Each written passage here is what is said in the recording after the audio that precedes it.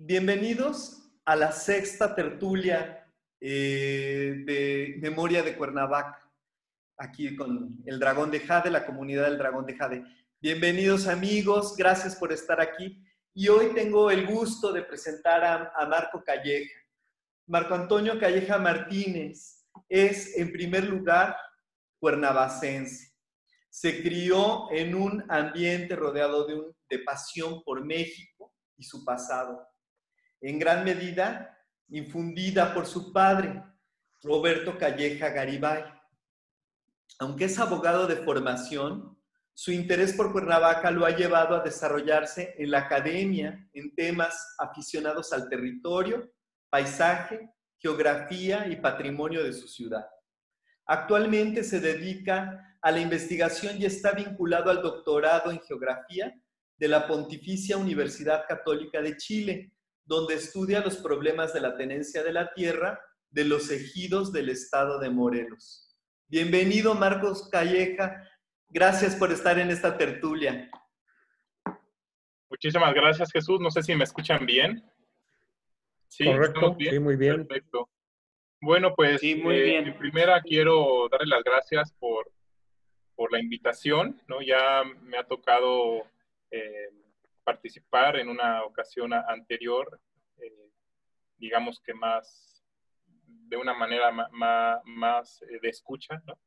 Pero bueno, ahora me da, me da gusto que me hayan, hayan invitado para compartirles un poquito de, de, lo que he hecho, de un poquito de mi trabajo. Y bueno, eh, no sé si pueda ya compartir pantalla. Sí, ¿verdad?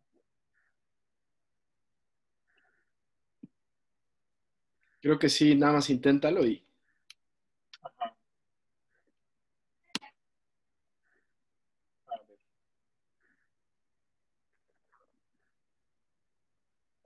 ¿Sí lo pueden ver?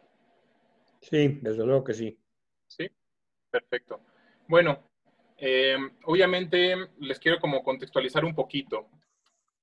Yo hice esta, esta, un,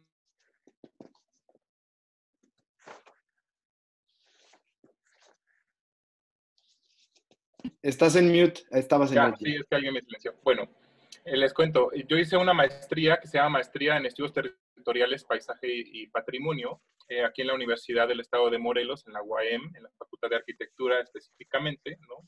Y como decía en la primera parte Jesús, ¿no? Yo no soy arquitecto, ni etnógrafo, ni geógrafo, soy abogado, pero bueno, la vida y mis gustos y las circunstancias me han llevado a estar en esto de la geografía, geografía urbana, geografía humana. Y eh, a partir de eso, yo quise vincular el, trabajo que yo tengo del estudio del territorio con mi profesión, que es eh, la abogacía, y mi pasión, que es la geografía, ¿no? Entonces, a partir de eso, hicimos una, una tesis, dije, digo hicimos porque la doctora Concepción Alvarado, que está aquí entre nosotros también presente, eh, bueno, virtualmente presente. Eh, ella fue la quien me, que me dirigió la tesis, ¿no? Y, y, bueno, después de muchas charlas y de muchos repasos y, y, trabajo detrás, hicimos esto, ¿no? Hicimos esta, esta investigación que es las barrancas de Cuernavaca.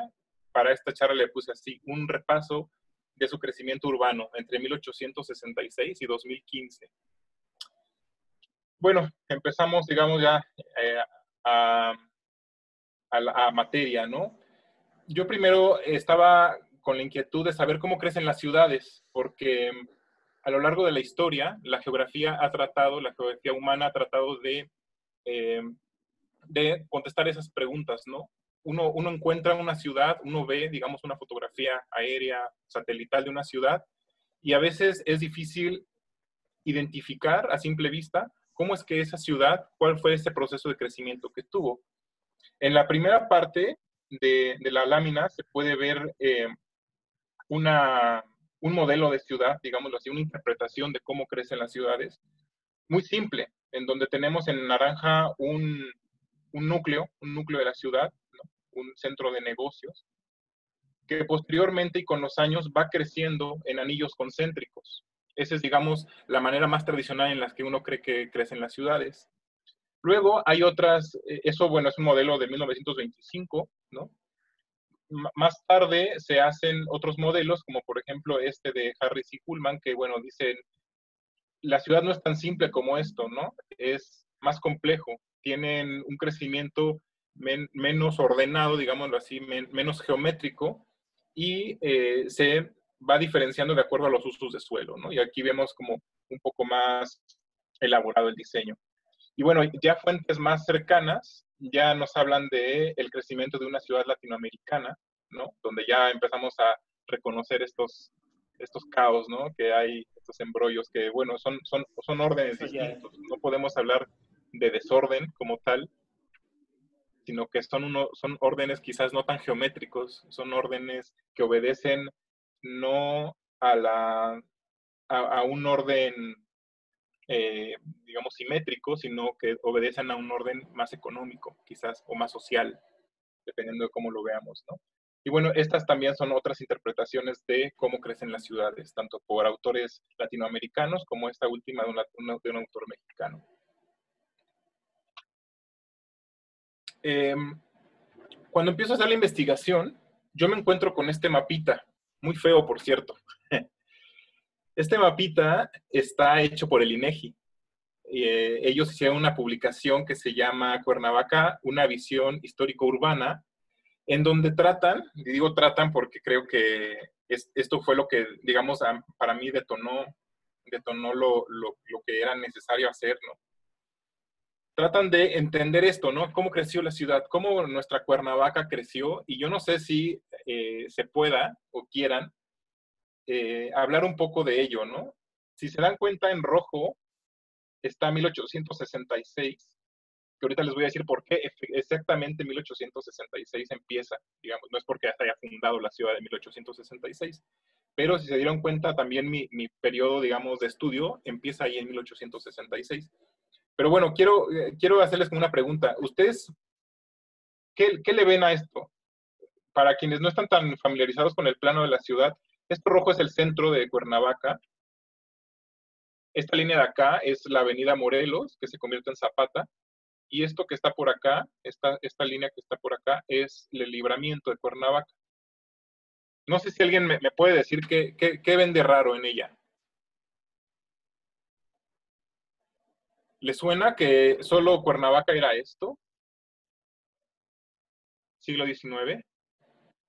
No, porque había pueblos. estaban los otros pueblos, ¿no? Digamos que ahora conforman Cuernavaca.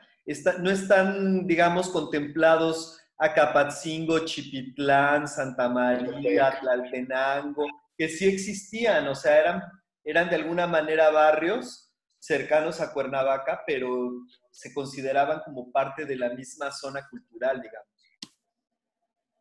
Exactamente, eso, eso, eso justamente me llamó la atención a mí en primer lugar y dije yo, a ver, ¿y dónde están nuestros pueblos originarios? Nosotros tenemos 13 pueblos, 12, 13 pueblos que tendrían que estar aquí eh, representados y pareciera como si, si se dan cuenta, bueno, no sé, no sé si ubican, esto sería eh, Chamilpa, esto sería Ocotepec, y este de acá, sí ven el cursor, ¿verdad? Sí. Sí, ok. Eh, y esto de acá sería mm, eh, Aguatepec. Y pareciera como si esos pueblos hubieran, hubieran sido fundados en 1953, ¿no? Que es como un absurdo. Entonces ahí fue donde dije yo, aquí faltan mis pueblos, ¿no?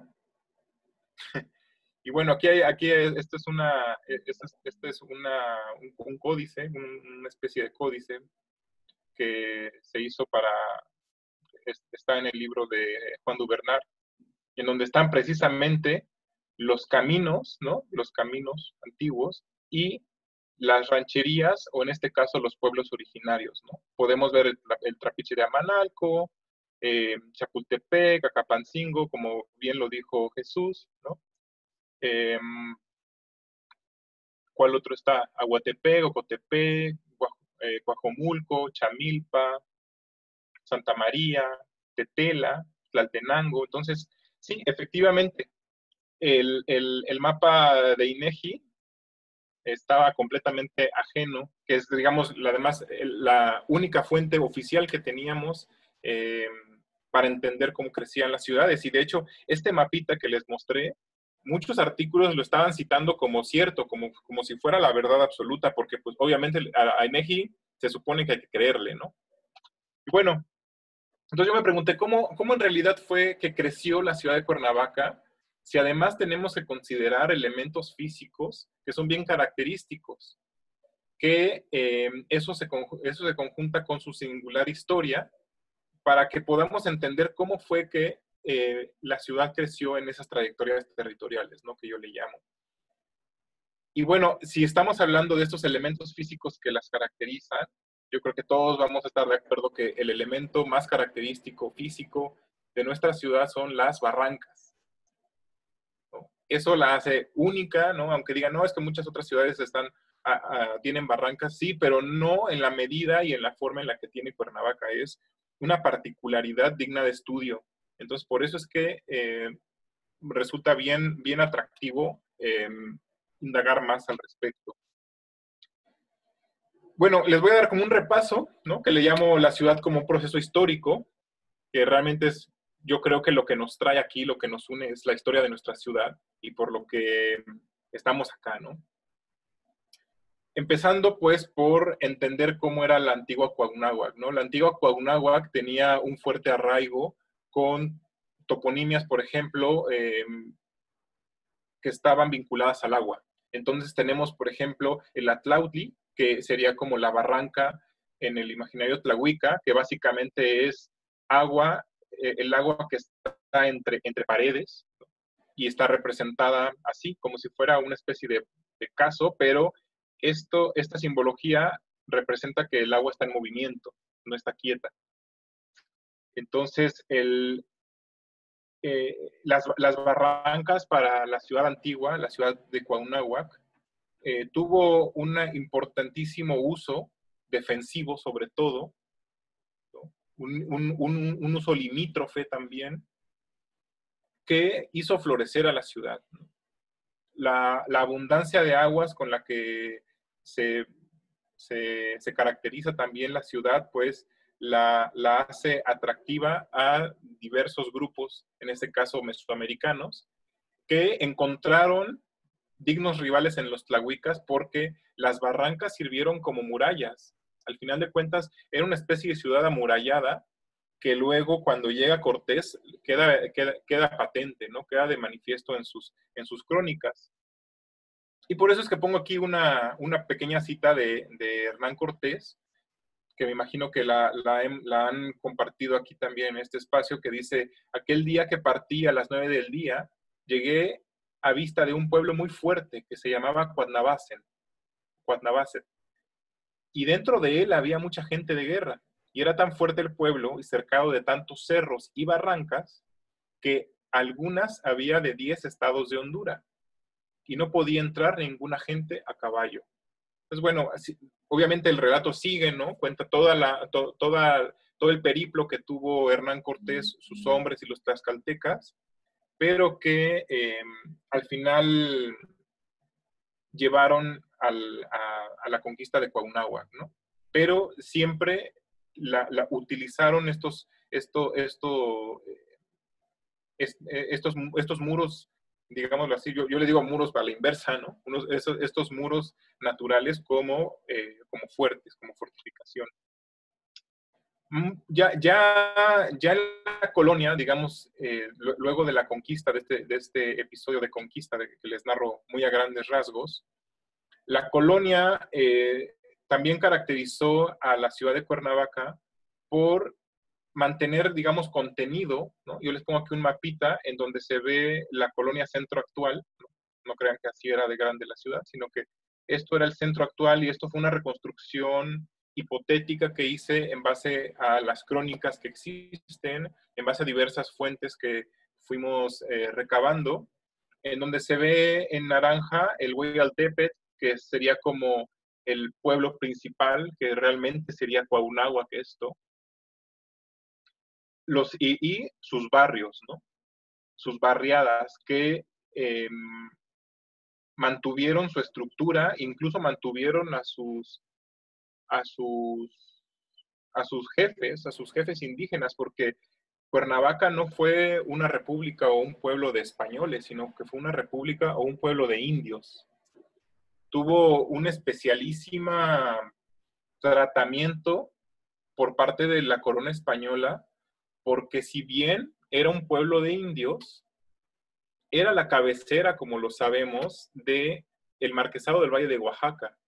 Entonces recibía un doble tratamiento, tanto como por, ser pueblo de, españoles, digo, de pueblo de indios, ¿no? En donde ya bien entrada la, la, colonia, se siguieron respetando incluso las autoridades indígenas de, los, de las barriadas. Entonces ahí encontramos, por ejemplo, el barrio de Jerusalén, que sería lo que es ahora mm, el... ¿Cómo se llama esto? Por donde está el diario de Morelos, más o menos, el barrio de Jerusalén. San Francisco. Chipitlán. Claro, Chipitlán, Chipitlán, San Francisco. Eh, el, el barrio de Santo Cristo, San Pablo, y, todo, y la mayoría de ellos incluso hoy conservan sus templos. Ah, hubo, hubo algunos templos que se perdieron.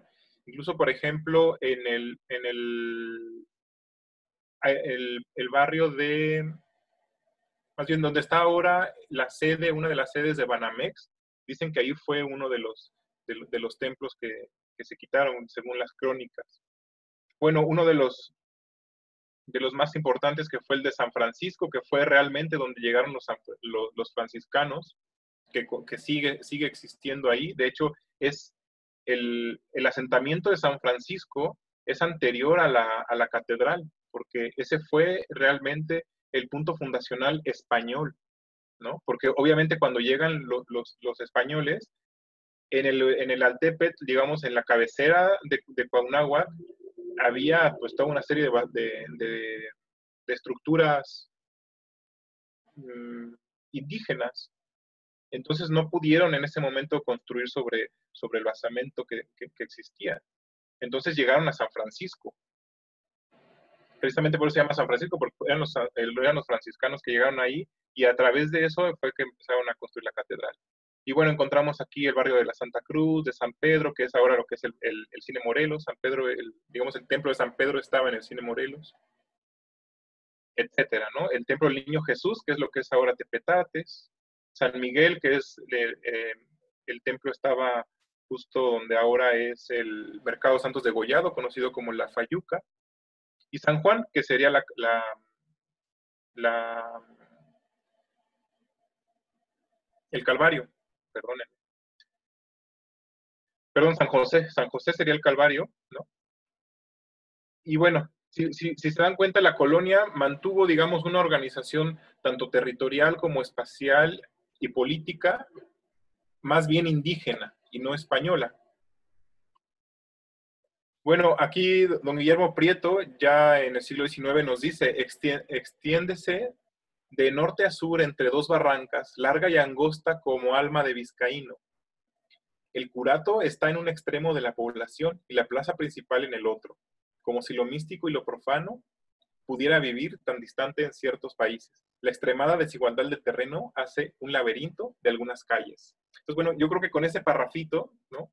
Nos habla de, nos da como una fotografía de cómo era Cuernavaca en, en ese tiempo, ¿no? Que se parecía mucho a esta, a esta Cuernavaca colonial de la que les estoy hablando, ¿no? Aunque, a pesar de que ya era siglo XIX.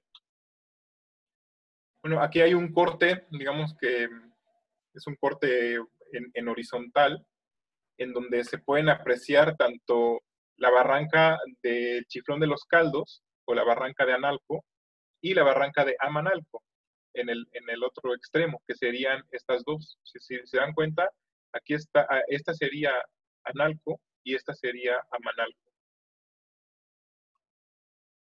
Y se puede ver cómo en las, en las pequeñas lomas que, existen aún fue donde se asentaron los, los templos y templetes de, nuestra ciudad. Podemos ver el, el, barrio de Jerusalén, de San Francisco, obviamente la catedral y los barrios de Santo Cristo de San Pablo.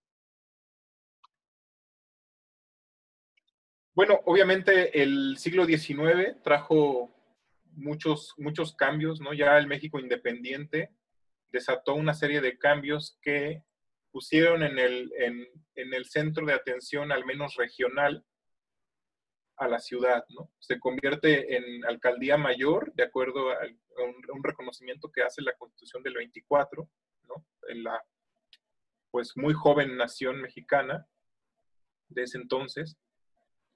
La categoría de ciudad la, la adquiere en 1834, ya con la, ya con la población que tenía se convierte en capital del estado de Morelos en 1870, que ahí eh, es interesante la pugna que hubo entre, entre los cuautlenses y los cuernavacenses por, por, la, por la capital del estado.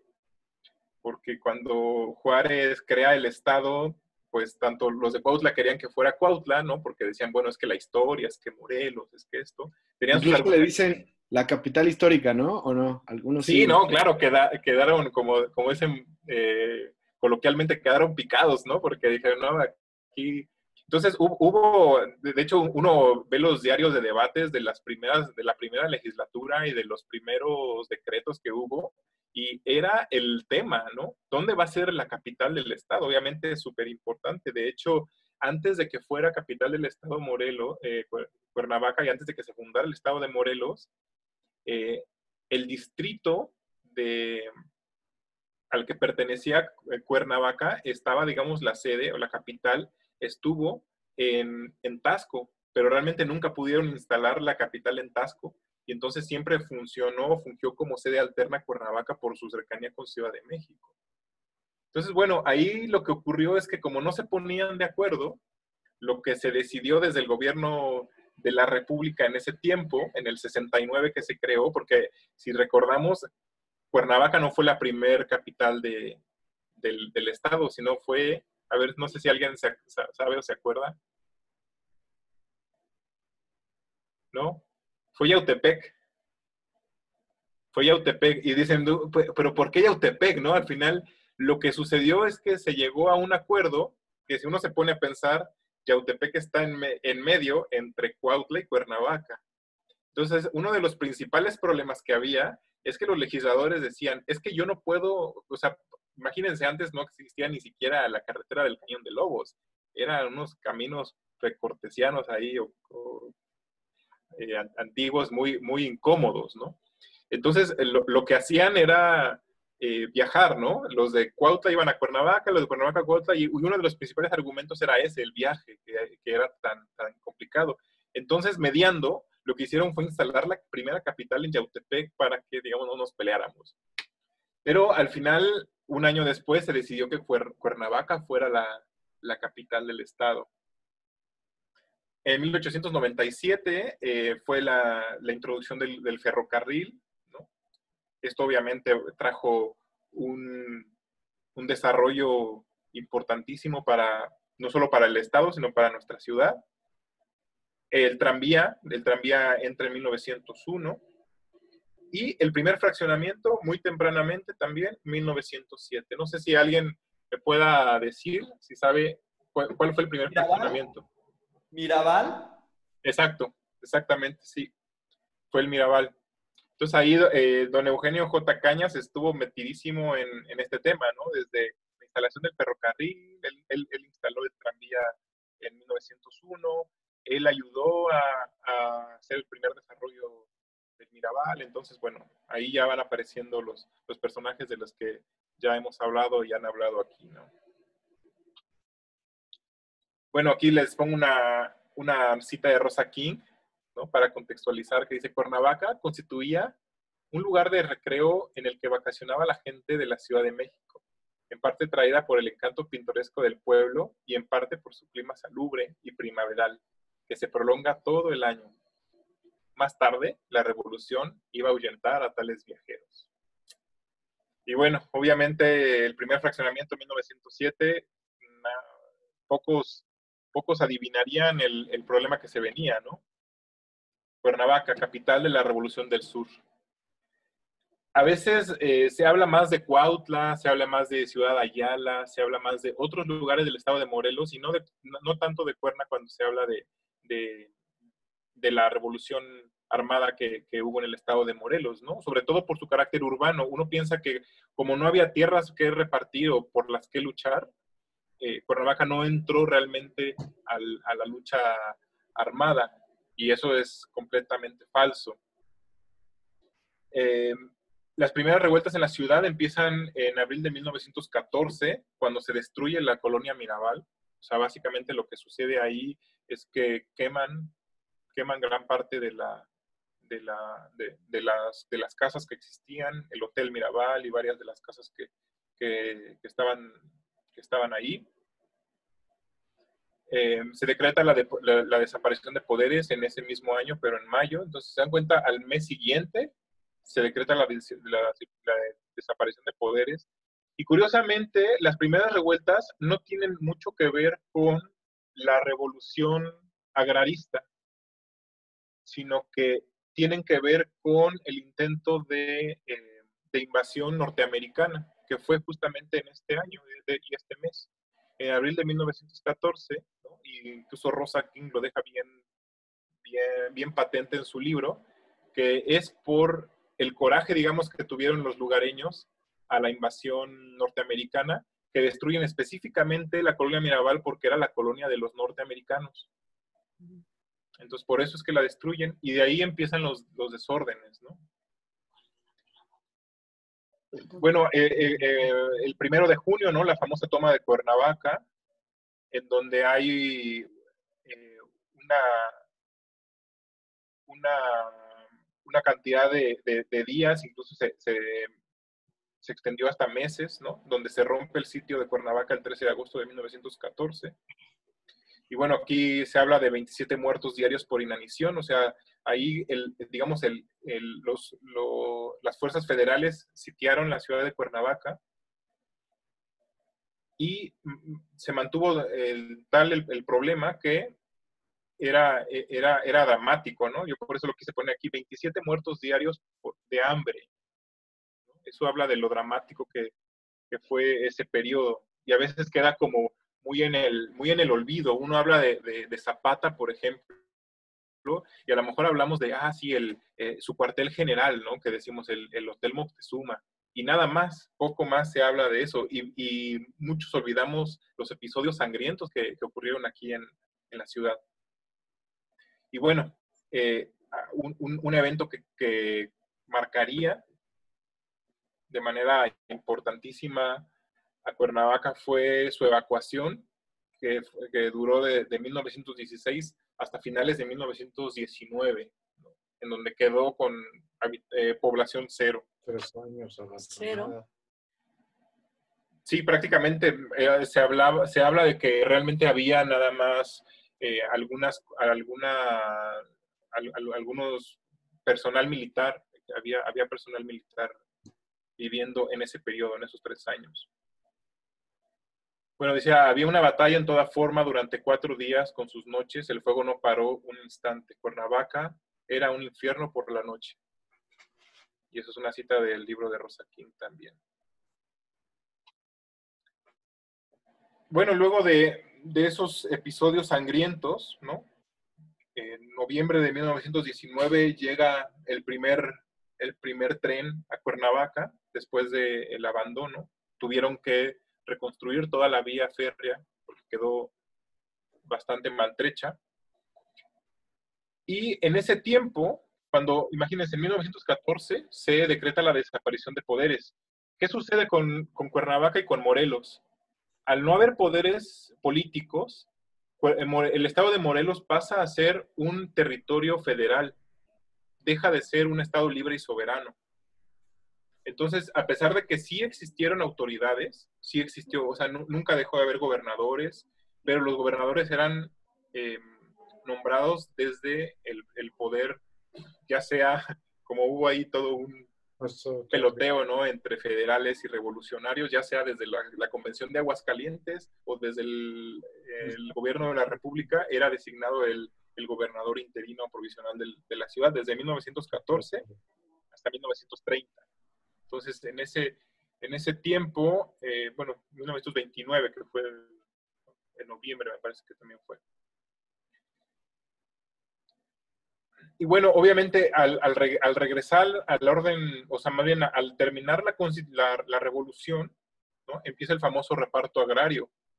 Y Morelos, pues obviamente tuvo que haber sido como es el, la entidad agrarista por, por excelencia, pues fue de los primeros que empezaron a, a recibir las dotaciones de tierras, que empezó en 1920 y oficialmente, le pongo aquí oficialmente, concluyó el reparto agrario en Morelos solamente nueve años después, en, el, en 1929. O sea, ni siquiera, o sea, seguía siendo un territorio federal, Morelos, cuando ya tenía repartido todo en teoría ya tenía repartido todo, todo, todo el territorio los, los, los, los ejidatarios y comuneros.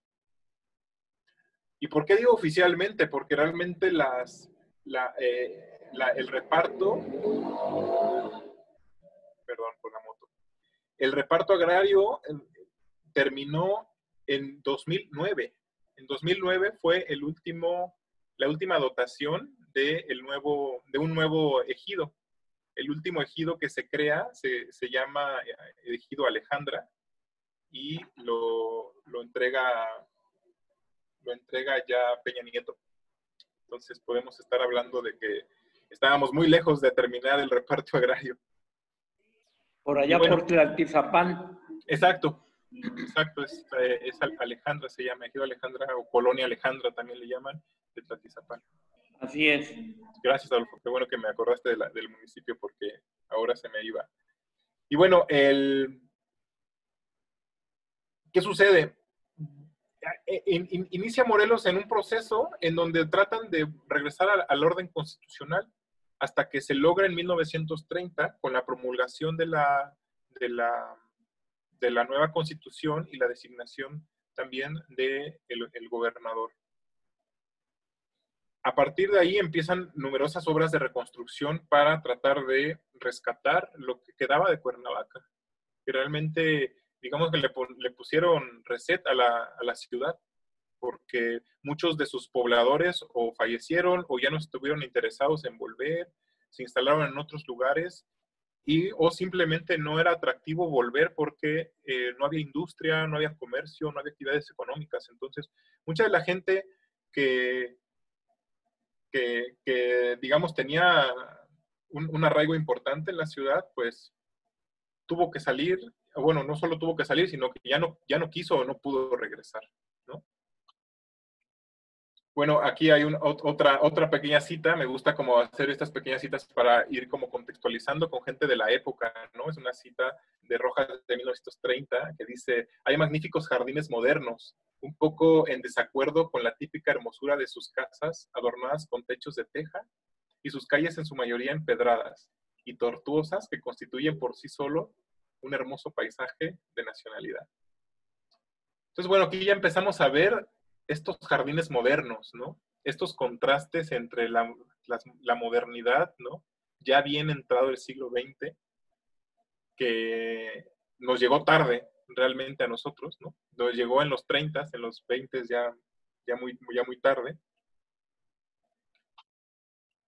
Bueno, ¿qué pasa? Después del 33 se hace la primera ley urbana, ¿no? la ley de planeación y saneamiento de 1933, empiezan a hacer eh, pueblos de reconocimiento. Aquí el fondo de, la diapositiva yo les, yo les puse la primera fotografía aérea de la ciudad, se ve muy poco, pero bueno, la, la idea es que ya, ya en ese tiempo empezaban a, hacer estos vuelos de reconocimiento para empezar a planear el crecimiento de la ciudad. Hasta entonces se empezó a pensar en un proyecto de ciudad, al menos lo intentaron, ¿no? Porque creo que no se logró como tal. Eh, hubo una ley de planificación y zonificación en 1947, se crea una comisión de planeación, se crea una oficina del plan regulador y bueno, eh, también aquí una cita de Malcolm Lowry de, de, esos tiempos que dice, podía verse hasta el fondo de la barranca, entre el denso follaje y las amplias hojas que no ocultaban en nada lo pérfido del abismo. Sus empinadas márgenes estaban cubiertas de basura que pendía hasta de los arbustos. Lo dijo Malcolm Lowry en 1947 y nosotros creemos que es un problema actual, ¿no? El problema de la basura en, nuestras barrancas queridas, que parece que siempre, siempre las hemos tomado como eso, ¿no? Como nuestro patio trasero, como nuestro basurero.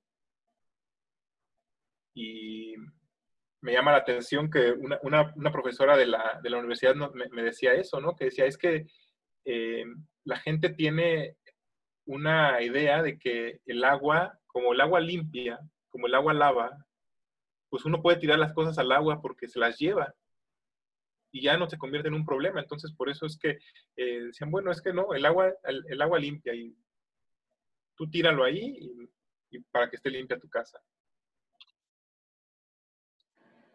Luego de esto viene un, proceso en el que hay una, un crecimiento exponencial de las actividades económicas. ¿no? Podemos empezar a pensar, por ejemplo, en la ciudad industrial de Valle de Cuernavaca, el CIVAC, en otros proyectos tanto industriales como turísticos, en donde si bien trajo a la ciudad cierta bonanza económica, también trajo una polarización de nuestra sociedad. ¿Qué pasó? Que hubo una migración campo-ciudad importante, donde eh, de la noche a la mañana, sobre todo en la década de los a partir de la década de los 60, 50, 60 a los 70, Cuernavaca recibió muchísima gente de fuera, muchísima. Y esa, es, esa, esa situación polarizó la, nuestra sociedad, sobre todo entre los ricos y los pobres, ¿no? Entre la gente que llegó de obrera y la gente que llegó a mandar a esos obreros, o la gente que ya vivía ahí. Entonces les hablo aquí de un repunte, un repunte en la fundación de colonias populares y fraccionamientos residenciales, ¿no? O sea, como que la clase media quedó ahí un poco olvidada, eran o colonias populares, ¿no? Hablemos de, por ejemplo, la colonia Antonio Barona, que se crea en 1960, eh, la colonia Satélite, que es un poquito posterior, todas esas colonias que son populares. Que ahora tienen un arraigo importante, que fueron creadas en esa, en esa época, pero que también tienen a la par eh, estas, estos fraccionamientos residenciales tipo Jardines de Cuernavaca, un poco posterior el Tabachines y, este tipo de, urbanizaciones, ¿no? Bueno, aquí mm, se habla de una evolución dual, ¿no? Dual y sobre todo polarizada de los mercados del suelo y de la vivienda, en donde el suelo era muy caro o era muy barato. Y ese crecimiento sobre todo se expresó sobre ejidos y comunidades eh, agrarias. Tanto los ricos como los pobres se fueron a los ejidos y a las comunidades porque al final de cuentas es y sigue siendo, o sea, fue y sigue siendo eh, el, el, suelo vacante, digamos así, de la ciudad. Ahorita les voy a enseñar una serie de mapas en donde se ve que Cuernavaca nunca tuvo para dónde crecer. Cuernavaca siempre se mantuvo en, entre los márgenes de, se contuvo en, los márgenes de, las barrancas y conforme fue creciendo, esas barrancas fueron, fueron siendo sorteadas a través de puentes. Y bueno, también hay una cita que en este caso es del gobierno del estado de Morelos, que dice, invitamos a los particulares a realizar inversiones en fraccionamientos, con la seguridad de que habrá un trato justo y legal, siempre y cuando cumplan todos y cada uno de los requerimientos respectivos. ¿no? Esto es 1977, en el auge del, desarrollo urbano del Estado bueno, ya para cuando entra el siglo XXI, las reformas que tuvo la Constitución en el 92 con Carlos Salinas de Gortari facilitaron la venta de tierras, sobre todo ejidales y comunales, que al final de cuentas tuvo también su expresión en la forma de la ciudad. Entonces aquí les pongo un mapita no sé si alcanzan a ver que esto es el centro urbano Morelos, lo que se quiso llamar el centro urbano Morelos, que ahora se llama como Valle Verde o Verde, algo así, que está en el lado poniente de nuestra, de, nuestra ciudad. Y curiosamente, esta parte de aquí es el centro de la, de ciudad. Esto es el centro de la ciudad. Si uno pudiera trazar una, línea recta del centro a esta parte, es muy, es muy cerca, pero nuestras barrancas otra vez, haciendo de, la, haciendo de las suyas, eh, impiden el paso, esta es la barranca Chiflón de los Caldos, impiden el paso a la urbanización. Entonces la gente tiene que darse todavía la vuelta hasta Temisco para entrar a esta parte poniente de Cuernavaca.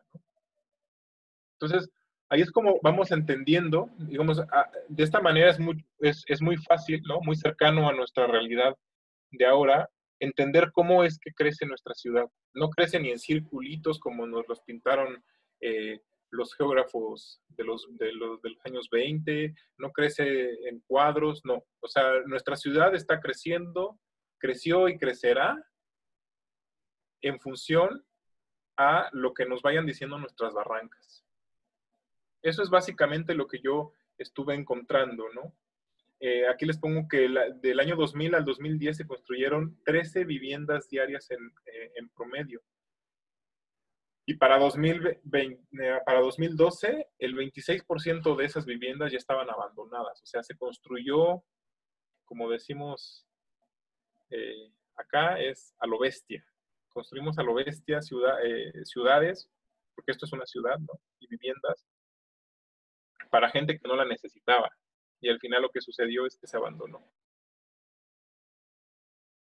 Bueno, si se dan cuenta es un recorrido así muy por encima, muy a, gran, a grandes rasgos. Obviamente todo esto yo lo tengo plasmado en, mi, trabajo de tesis de una manera más, pues, en primera más técnico, ¿no? Hay un marco teórico, hay todo esto.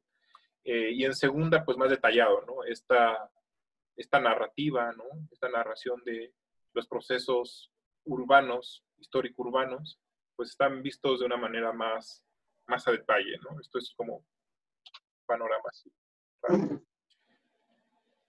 Eh, alguien quiere hablar, oigo como un, ¿no? sigo. Bueno, ¿qué pasa? Yo aquí lo que trato de hacer en, el, en este trabajo es tratar de interpretar esos patrones de crecimiento para entender cómo crece la ciudad. ¿no? Para eso, yo ocupo cuatro estrategias para recolectar datos. La primera es consultar los datos geostadísticos. ¿Qué es esto? Un, dato geostadístico es básicamente un mapa que está relacionado con un número o con muchos números. Entonces, yo tengo una base de datos, ¿no? Se puede hablar de, de densidad de población, se puede hablar de número de domicilios, se puede hablar de muchas cosas, pero que el mapa tiene esa información metida. Y entonces para los geógrafos es más fácil procesar esa información, interpretar esos datos que los podemos referenciar en, un, en, digamos que espacializar, como decimos. Entonces, primero me fui a eso. Obviamente, la fuente por, por excelencia es INEGI, pero también hay otras, hay otras muchas. El Registro Agrario Nacional, está eh, eh, la Comisión Nacional del Agua, una serie de, fuentes oficiales, sobre todo, que me permitieron revisar y procesar esos datos. Hice un análisis eh, en la medida de mis posibilidades de la cartografía histórica disponible, una interpretación de esas imágenes, ¿no? tanto de, de, mapas como de fotografías aéreas que ahora mismo vamos a ver, y luego de eso una reconstrucción histórica basada en descripciones y crónicas, ¿no? que también fue un trabajo de archivo ahí importante de irme al archivo, al Instituto de Documentación del Estado de Morelos, el revisar fuentes históricas y todo esto. Bueno, la primera parte, ¿no? que a mí me gustó mucho, es esto. Ponemos em, un mapa hecho en 1866. Y yo les decía, ¿Por qué creen que 1866? ¿Qué, ¿Qué, estaba pasando en Cuernavaca en ese año? ¿Se acuerdan? Maximiliano estaba por aquí. Exactamente. Exactamente. Se convirtió Cuernavaca en uno de los lugares favoritos de los emperadores. Y para ello, Cuernavaca cuando llegaron los emperadores era un pueblito muy aislado, ¿no? A lo mejor era grande en dimensiones, pero estaba muy aislado, mal comunicado, eh, malos servicios, ¿no? Hablábamos el otro día en este espacio sobre, sobre Robelo, que justo llega en ese año a Cuernavaca, precisamente motivado por estas transformaciones que, que, que forzaron los emperadores cuando, cuando llegan. Entonces, uno de esos cambios, uno de esos progresos que hubo es que se empezó a cartografiar a la ciudad ya en serio. Y si se dan cuenta, en rojo yo tengo eh, las manzanas urbanas que me da el INEGI. ¿Sí se alcanza a ver? La parte roja. Sí se alcanza a ver muy bien. Perfecto. Entonces, la parte roja que se ve es la ciudad actual. Y atrás está el mapa que hicieron en 1866 por mandato de los, de los emperadores. Y se dan cuenta, tiene una precisión milimétrica prácticamente. Entonces, obviamente, para yo poder hacer esto, tuve que ingresarlo a un software especializado en georreferenciación, ¿no? Eh, y así es como empezamos a reconstruir eso que INEGI nos había dicho primero, que les presenté en, las primeras diapositivas, y que yo no sé cómo lo procesó porque ni siquiera habla de la metodología, pero bueno, la, mía fue esta, ¿no? Empezar a eh, mapear, a remapear esos mapas que ya existían, eh, digamos, ya digitalizándolos. Entonces, para mí aquí es fácil saber en dónde estaba vacante el suelo y dónde había construcciones. ¿Se dan cuenta? Eh, pues era chiquitita la ciudad en ese tiempo. Acá se puede ver, este es el centro de la ciudad, obviamente. Em, aquí se puede ver la explanada principal. Aquí se puede ver ya, eh, me parece que es Chapultepec. sí, es Chapultepec. Bueno, aquí está San Antón.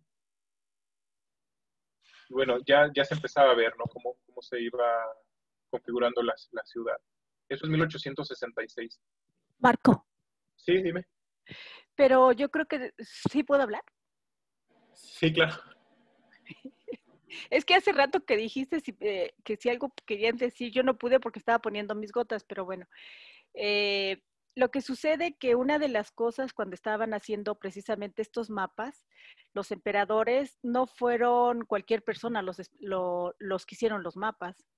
Hay que recordar que los emperadores eran europeos y entonces en Europa ya la cuestión cartográfica estaba desarrollada. Entonces supongo que hubo una gran influencia a estos, sin les decirles como tal cartógrafos, pero estos, estas personas que elaboraban los mapas ya tenían un conocimiento y entonces esa traza, eh, sin que, como bien tú lo comentaste, en rojo está la traza urbana actual, pero también supongo que lo que está como manchadito sería, eh, eso no lo mencioné, lo que está como manchadito, como si lo hubieras espolvoreado, es la población que estaba diseminada, supongo que en todo, todo ese territorio, ¿cierto, Marco? Sí, eh, o sea, se, ve aquí que serían una parte las construcciones y en otra parte los, huertos, porque obviamente Cuernavaca tenía una serie de, calles. Que obviamente eran mucho menos de las que hay ahora, incluso en el, primer cuadro de la ciudad, pero que eh, se, conformaban de, huertos. Por ejemplo, aquí si ven donde tengo el mouse, se ve que estos eran los famosos huertos de Guayabas, donde es ahora el Boulevard Juárez. Aquí obviamente no había ningún Boulevard Juárez, aquí eran los huertos, los guayabares, ¿no? No sé cómo llamarles, pero sí era, era, era solo eso. Perdón, aquí me estaba confundiendo, no Chapultepec, es Amatitlán. Que Amatitlán, curioso, no es un pueblo originario, es un pueblo eh, es una refundación de un pueblo que existió en, si no mal no, mal no recuerdo, en Emiliano Zapata, en, el municipio de Emiliano Zapata, que fue, fue refundado aquí en terrenos de lo que anteriormente era el, el rancho de Santana Manal. Qué interesante esto que nos platicas, Marco. Yo no lo sabía. Gracias. Sí, sí, sí. De hecho, en una de las crónicas que hace Juan Dubernard, él en los setentas todavía no tenía ubicado dónde era el pueblo, el pueblo original de, Amatitlán, porque también se llamaba así Amatitlán. No lo tenían ubicado y se hablaba de que es que uno de los, de los viejos del pueblo eh, contaba que su abuelito, no sé qué, o sea, a, través de la, de la, historia oral pudieron llegar a encontrar un casco, un casco de, de, iglesia, en donde se supone que, o donde en ese momento presumía don Juan Bernard que era el pueblo original de Amatitlán. Y que eh, en, en, el siglo XIX, eh, se, me escapa ahora la fecha, pero fue ya, ya entrado el siglo XIX cuando, cuando se les se les dotan esas tierras, una parte de las tierras del antiguo rancho de Amanalco, de Santana Amanalco, se le dota a los, a los habitantes de, de Amanalco, de, de Amatitlán, perdón. Y bueno, podemos seguir. Esto es 1866. Esto es 1896. Aquí puse solamente el pueblito de Chapultepec, pero aquí lo curioso, no sé si también puedan relacionarlo. 1897 entra el, el ferrocarril a Cuernavaca. Este mapa es de un año antes de que entrara. ¿Qué pasa? Estos son los mapas que hicieron los ferrocarrileros para el diseño de la, de la, de la vía férrea. Si se dan cuenta, estas curvas que están aquí son las llamadas curvas de nivel, ¿no? Por cartógrafos, topógrafos, geógrafos. Estas son las curvas de, nivel y lo que hacía el, que trazaba la, la, vía férrea era tratar de no salirse tanto de esta curva de nivel. Por eso es que nosotros, si vemos el trazo, por ejemplo, de la carretera antigua o de muchas de las carreteras viejas, ¿no? van serpenteando precisamente porque vamos siguiendo las curvas de nivel para no hacer pendientes tan empinadas y también para abaratar los costos de, construcción, ¿no? Entonces, bueno, también me, ayudé de, esas, de esa cartografía que existe, además es muy detallada, tiene una calidad impresionante. Eh, y también la usé para hacer la reconstrucción, ¿no? En Rosita está la traza urbana actual y en sí eh, abajo de ella está el 171, ¿no? Ya para trazar más. Entonces ahí me fui polígono por, por, polígono.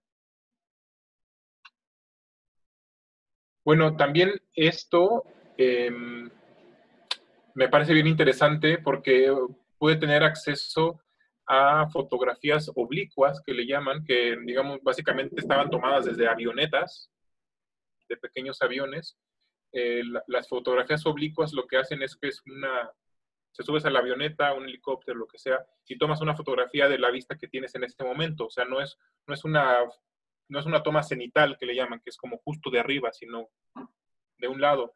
Entonces, para mí fue un reto importante porque tenía que georreferenciarlas estas y si se dan cuenta, lo que sucedió cuando la metí al, programa es que me la proyectó como en conos. Entonces, este trabajo eh, es de muchas horas porque hay que ir encontrando puntos hasta que podamos eh, lograr esto, ¿no?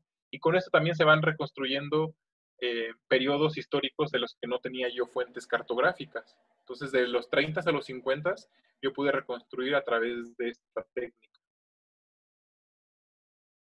Entonces ahí, ahí está esa parte.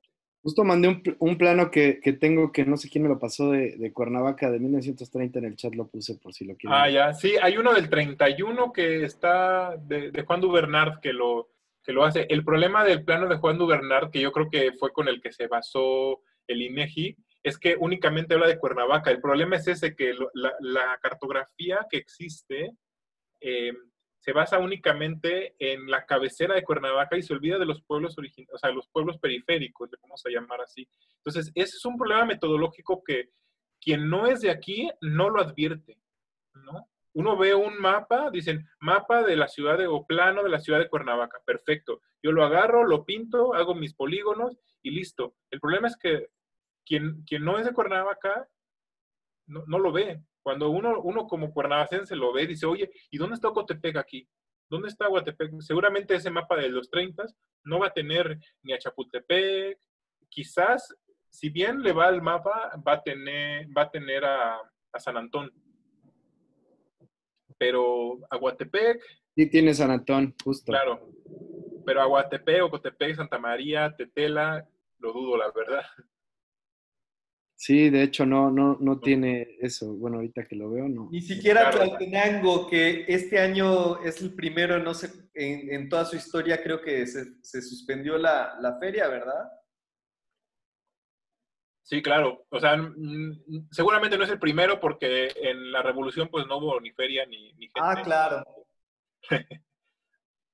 Pero sí, sí, es, eh, ni siquiera Tlaltenango aparece, entonces ahí estamos hablando de problemas importantes, digamos, metodológicos. Obviamente esos mapas se hicieron para un objetivo específico, quizás para la electrificación. Hay un, hay un mapa de los 30 para la electrificación de Cuernavaca o para trazar sus, sus principales calles y bueno, para el ordenamiento de la, ciudad, digamos, de la parte urbana de, de, de Cuernavaca, más urbanizada. Entonces, bueno, después de esto, yo lo que hice fue una reconstrucción en primera de los puentes. A mí me interesaba muchísimo mapear los puentes para entender cómo es que, por su temporalidad, cómo es que la ciudad fue, eh, se fue permeando, fue, fue como, le fueron saliendo bracitos a la ciudad para poder, digamos, con, conquistar nuevos lugares, ¿no? De una loma a otra, lo que hay es un puente.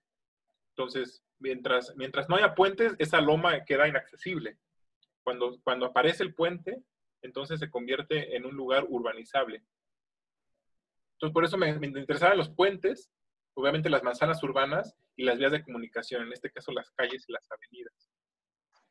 Y bueno, este es el mapita que yo logré hacer, ¿no? Digamos que es como mi resultado cartográfico, en donde tenemos ahora sí 1866, pasando por varios cortes temporales, ¿no? Pintaditos de colores, hasta el año 2015, que fue donde yo, yo digamos, paré, porque incluso hasta ahora es, es cartográficamente eh, lo más nuevo que hay. O sea, digamos que la, la cartografía de 2020 que tendría que salir, eh, tendría que salir hasta el, hasta el, próximo año, porque los censos se hacen, o sea, hay, hay un recuento intercensal que hace INEGI en el 2015 y luego los, los censos poblacionales que fue en 2010 y luego 2020 que fue el que acabamos de pasar. Y es cuando se actualiza toda la cartografía oficial.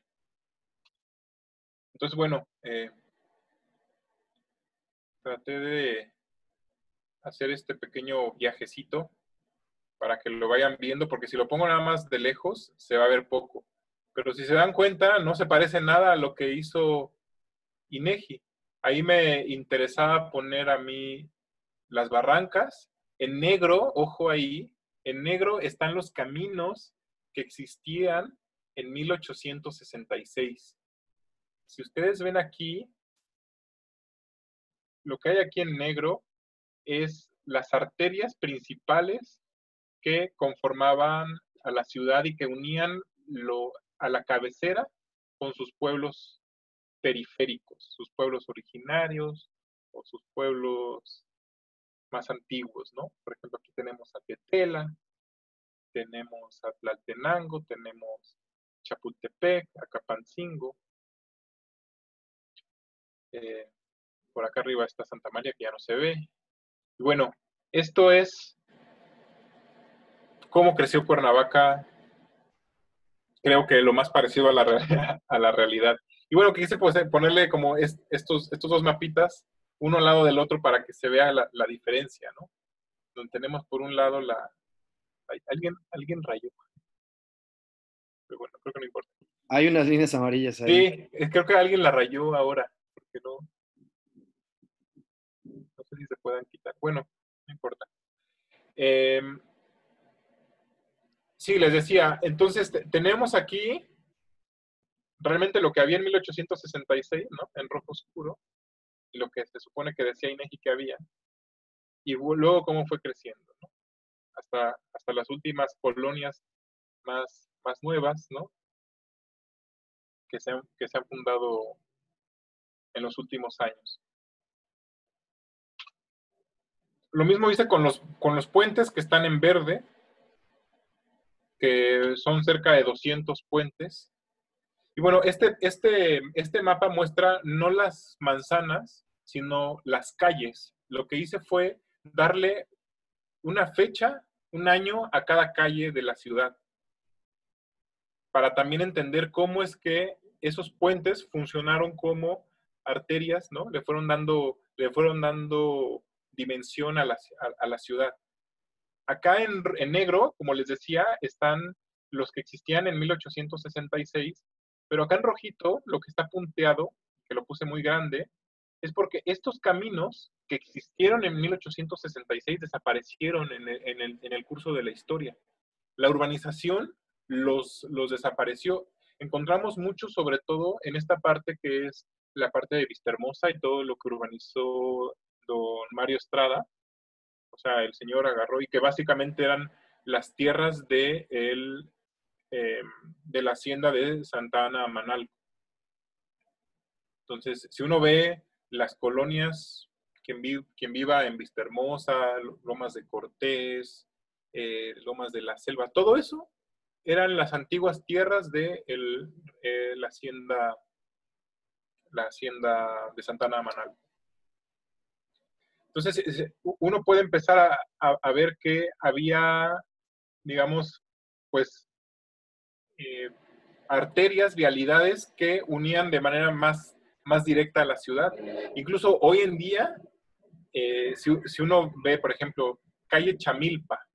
¿Y por qué se llama Chamilpa? Pues porque era la calle al pueblo de Chamilpa calle Ocotepec, lo mismo, ¿no? Hay una Huatepec, una Ocotepec, eh, no sé, incluso si uno quiere moverse hoy en día por la ciudad, estoy casi seguro que los que somos de aquí y los taxistas y bla, bla, bla, lo que van a hacer es agarrar estos caminos que yo mapeé en negro para llegar más rápido a los lugares, porque al final de cuentas es la manera más fácil de llegar de punto A a punto B, ¿no?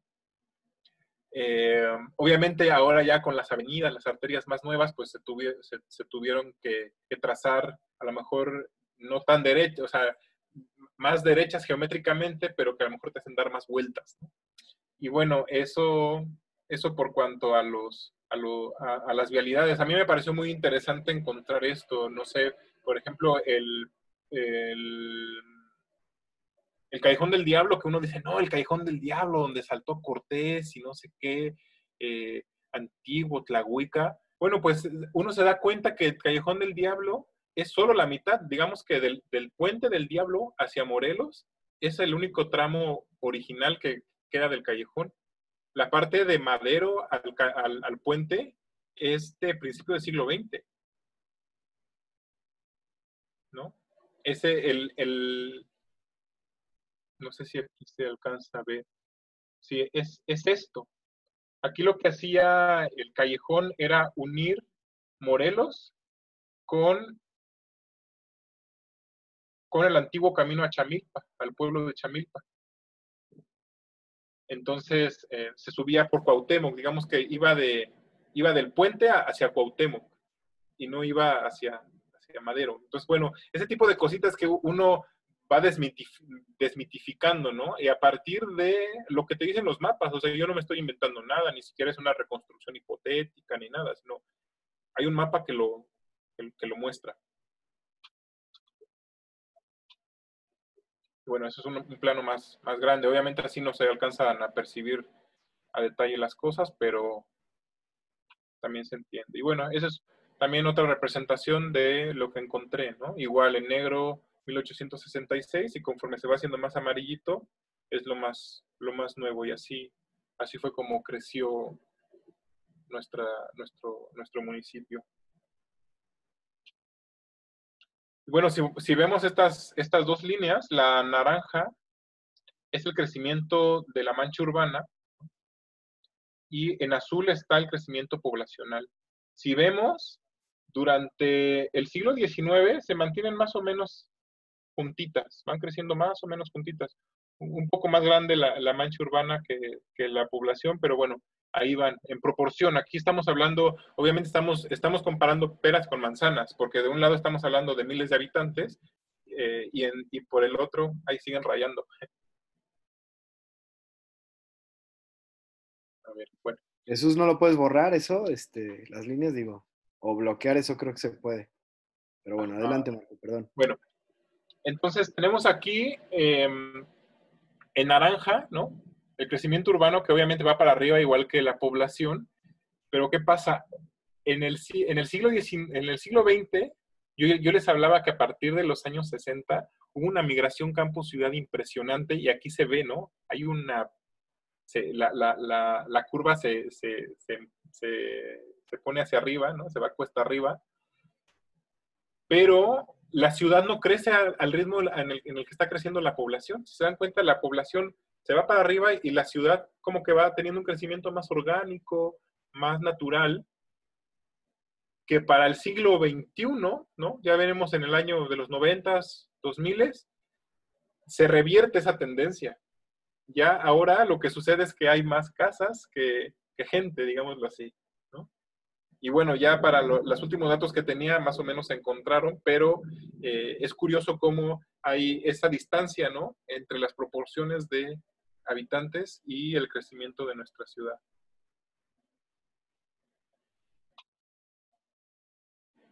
Bueno, yo, yo, yo, lo quise hablar como periodos normativos porque obviamente por mi, por mi, por mi formación, ¿no? Siempre hablo yo de, yo de leyes, pero básicamente son periodos históricos, ¿no? y es más o menos un poco más de lo mismo. Estamos hablando de eh, un periodo tlahuica, ¿no? Un periodo tlahuica en donde, en donde había usos y costumbres eh, indígenas y también las leyes de Indias o las leyes españolas estaban vigentes. Un periodo colonial, luego ya con el México independiente las leyes de reforma. Y lo quise poner este mapa porque si se dan cuenta, cuando hablamos de la Revolución Mexicana, yo no estoy poniendo un polígono, sino estoy poniendo una línea que básicamente sería esta. Una línea que rodea a las poblaciones que en ese tiempo existían. Y lo pongo como una línea porque ahí es una interpretación cartográfica de el no crecimiento. O sea, aquí fue, la Revolución Mexicana fue un borde, un borde histórico al crecimiento de la ciudad, que yo lo represento como una línea. Que obviamente ese borde se rompe ya cuando empieza el nuevo orden constitucional del que les hablé, y que se, se desboca ¿no? en el siglo XX, ya en la flexibilización normativa que le llamo yo de la, de la ciudad. Entonces, bueno, ya para concluir, quisiera como nada más dar un repaso, ¿no? De, que, de, qué son para Cuernavaca sus barrancas. Las barrancas que, que tenemos es, eh, son parte del afluente del Balsas, ¿no? Es de la cuenca de Patlaco. están categorizadas 46 barrancas en 140 kilómetros lineales. Y este es un dato curioso que quisiera como que cerrar con esto para que pudiéramos hablar un poco de, cuál es la vivencia que tiene cada quien al respecto.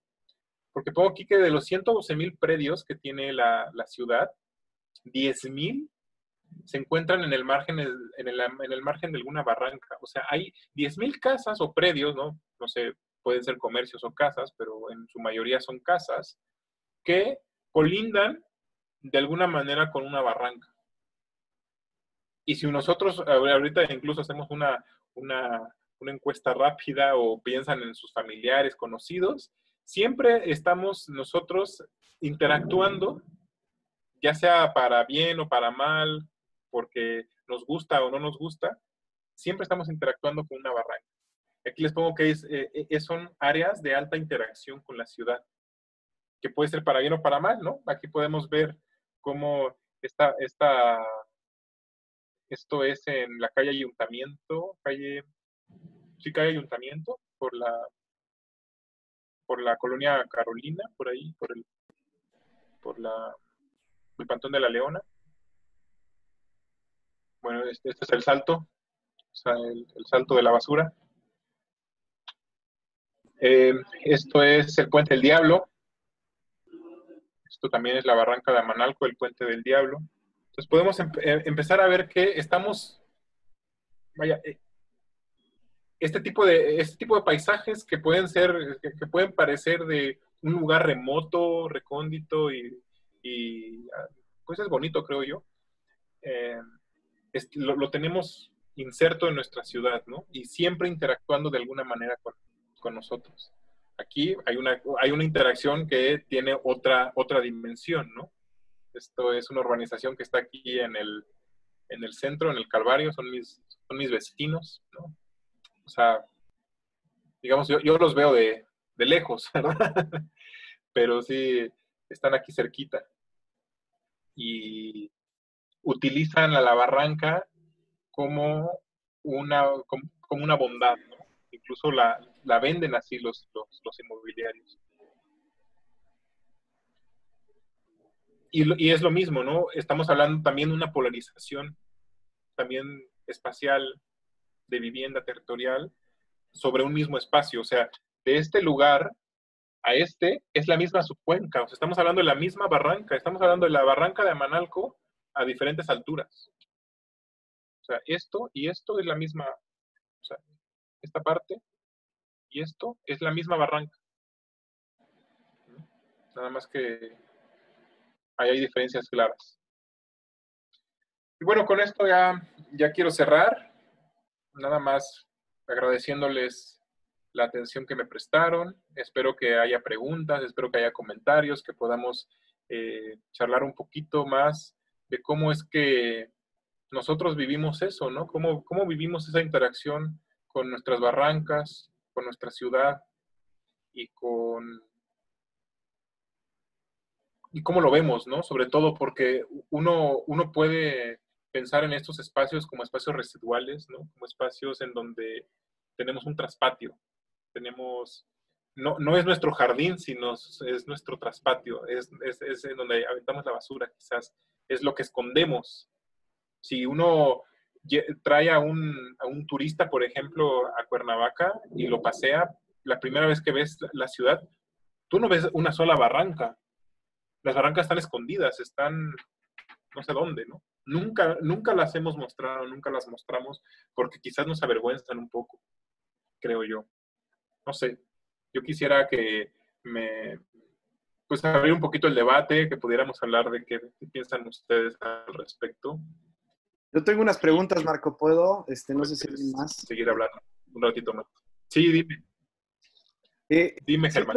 He escuchado como el comentario de, de, que el clima de Cuernavaca también se debe mucho a sus barrancas, ¿no? No sé, seguramente muchos de los que están aquí lo han escuchado no sé si como parte de tu estudio o de tu conocimiento en general sepas algo de eso, porque siempre dicen que, pues que hay muchos microclimas, ¿no? En Cuernavaca primero, ¿no? Porque si vamos al norte, ahorita que mostrabas la parte de Santa María, de Pantle, toda esta parte de tela, pues es bosque, ¿no? Y, de repente vas más hacia, hacia el sur y es mucho más cálido. Eh, pero dicen que mucho de, la eterna primavera se debe justamente a las barrancas. ¿Tú sabes algo de eso? Sí, efectivamente. Bueno, no, sé, ahí, igual y la doctora Connie me puede ahondar un poquito más al respecto, pero sí, efectivamente el, el, clima de, la ciudad tiene que ver con los vientos que ingresan desde el norte, ¿no? De lo que le llaman el, el, bosque, el bosque del agua, ¿no? En el norte de, la, de, lo que es el estado de Morelos.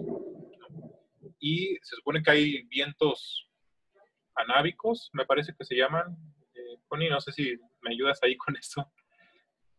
Pero sí, son, son, son digamos que los vientos ingresan a la, a la, al, interior de las, de las barrancas y refrescan, refrescan, bajan la temperatura, incluso se habla de, eh, recuerdo que eran como 6, 7 grados de diferencia térmica entre la superficie, digamos, entre la loma y, y la parte baja de la barranca. O sea, y para una ciudad que tiene tantas barrancas es muchísimo. Y, sí, efectivamente, en teoría la, la, ciudad tendría que ser mucho más cálida de lo que es. Si uno, uno va, o sea, nada más vas a, a Temisco y ya es otro clima completamente distinto, ¿no? Claro. Que, entonces sí, tiene, tiene, mucho que ver, ¿no? Incluso en la, en tesis yo más o menos lo, lo, describo muy, muy, por, muy por encima porque obviamente no es mi, no es mi tema, pero sí lo llego a, a mencionar, ¿no? Sobre todo por esta relación que se dio entre clima y atractivo como destino. O sea, es un destino de descanso que está mediado también por su clima. Entonces sí, es súper importante eso. Sí, Connie, dime. Ay, sí, es que no sé qué hice, o sea, yo no soy un as aquí en el, discúlpenme, a veces la edad nos hace medio, medio. Discúlpame, Marco, pero yo te seguí escuchando, pero no podía verlos, entonces no sabía a veces ni qué estabas mostrando, pero bueno, en relación a, eh, estaban mencionando, hola, estaban mencionando lo de el clima de la barranca, ¿no? Sí. Eh, un, bueno, Marco lo de lo es, yo creo que ahorita se le, ha, se, le, se le ha de haber mencionado, pero primero que nada te felicito, Marco, de verdad que me quedé con los ojos cuadrados, redondos y triangulares y todo lo que ustedes crean, ¿eh? Porque esta historia, como tú la describiste ahorita, no la habías, eh, bueno, y lo entiendo porque estás haciendo tu tesis de doctorado, entonces esto es parte de tus hallazgos, ¿no? Y de esa reconstrucción cartográfica que un cartógrafo, a lo mejor de la pontificia lo hubiera hecho igual, no lo creo, porque además tú eres algo que yo soy avecindada aquí en Cuernavaca, Morelos, y tú naciste en Cuernavaca, entonces para ti las barrancas son parte de tu identidad y yo así lo veo. Yo cuando la primera vez me vine a vivir a Cuernavaca y la primera vez que caminé Cuernavaca, no sé si es. Ay, sí cayó bien cerca, de verdad. discúlpenme, pero es que. Sí, me iluminé, pero sentí horrible. Discúlpenme, pero de verdad es que yo estoy. Sí, aquí pegó fuerte.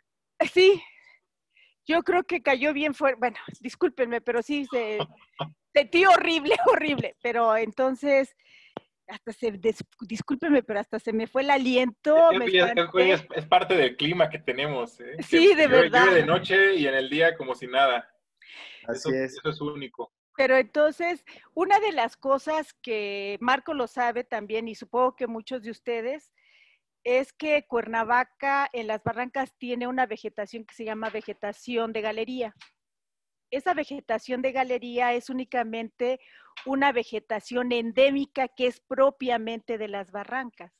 Esa vegetación de galería es lo que ha hecho que el clima de Cuernavaca sea más fresco. Porque a nivel global, a nivel del globo terráqueo, todo el mundo estamos ah, sometidos a los vientos, a la circulación de la atmósfera. Esa circulación de la atmósfera es que las, y nosotros, yo ya me considero avecindada y cuernavaquense, como, como no sé cómo, ahorita no se me ocurre cómo poner el término, pero muy bien avecindada en Cuernavaca porque me encanta Cuernavaca. Entonces, tuve la oportunidad de caminarla y yo decía, qué rico es en la tarde caminarla y caminaba todas las tardes cuando ingresé a la UAM, el Morelos, a trabajar. En el 2005 tuve la oportunidad de caminarla y entonces yo decía, qué rico es todas las tardes, porque cuando yo llegué aquí en 2005, para mí se me abrió el mundo por varias razones. Una es la topografía de Cuernavaca. Yo creo que de joven, mucho más joven, no es que todos los que estemos aquí no seamos jóvenes, tenemos unas cuantas décadas encima, pero eh, yo veía que Cuernavaca estaba muy trozada. Como geógrafa, no podía entender tantas barrancas que tuviera Cuernavaca. Yo decía, pero es como si hubiera tenido yo una crema, una crema pastelera y me hubiera dispuesto con mis uñas largas rasgar la parte norponiente de la ciudad de Cuernavaca y es lo que se encuentra como el glacis de Cuernavaca. Es como si ustedes lo hubieran rasgado con esas uñas largas que, que algunas mujeres nos gusta o les gusta ahorita por cuestiones del COVID, pues no, no nos recomiendan tener las uñas largas, ¿verdad? Pero bueno. Entonces yo decía que... Perdón, perdón, la interrupción, Concepción. ¿Nos podrías explicar qué es un glacis? Sí, glacis de, el glacis de Buenavista es un tipo de suelo que es muy, es muy suave en relación a otro tipos de suelos. Entonces, Cuernavaca, esta parte si ustedes ven una imagen de Cuernavaca y Marco en sus mapas lo tiene, es como si hubieran visto la par, si ven a la ciudad de Cuernavaca de frente con los mapas de Marco, ustedes van a ver en la parte norponiente de la ciudad, que es donde se localiza la mayor cantidad de, barrancas, ¿cierto? Ahora. donde transmitimos por ahí del dragón de Jade todo Lomas de Atzingo, Lomas. Ajá, exactamente. Ajá. Ah, mira, ahí está el dragón de Jade, cierto, porque yo vivo muy cerca de ti, ah, el del dragón de Jade. Bueno, ahora bien, esa parte, con el transcurso del tiempo, con el transcurso de los, de los miles de años, porque aquí son miles de años, porque estamos hablando de geología, del tipo de suelo, que es muy diferente esos años en comparación a la escala humana, ¿cierto? A pesar de que hay gente que vive hasta casi más de 100 años, ahorita la gente puede vivir, no sé, con los, con los avances que tuvo la, que tuvo la medicina y está teniendo, bueno, podemos vivir a lo mejor 90 años, 100 años, qué sé yo, ¿no?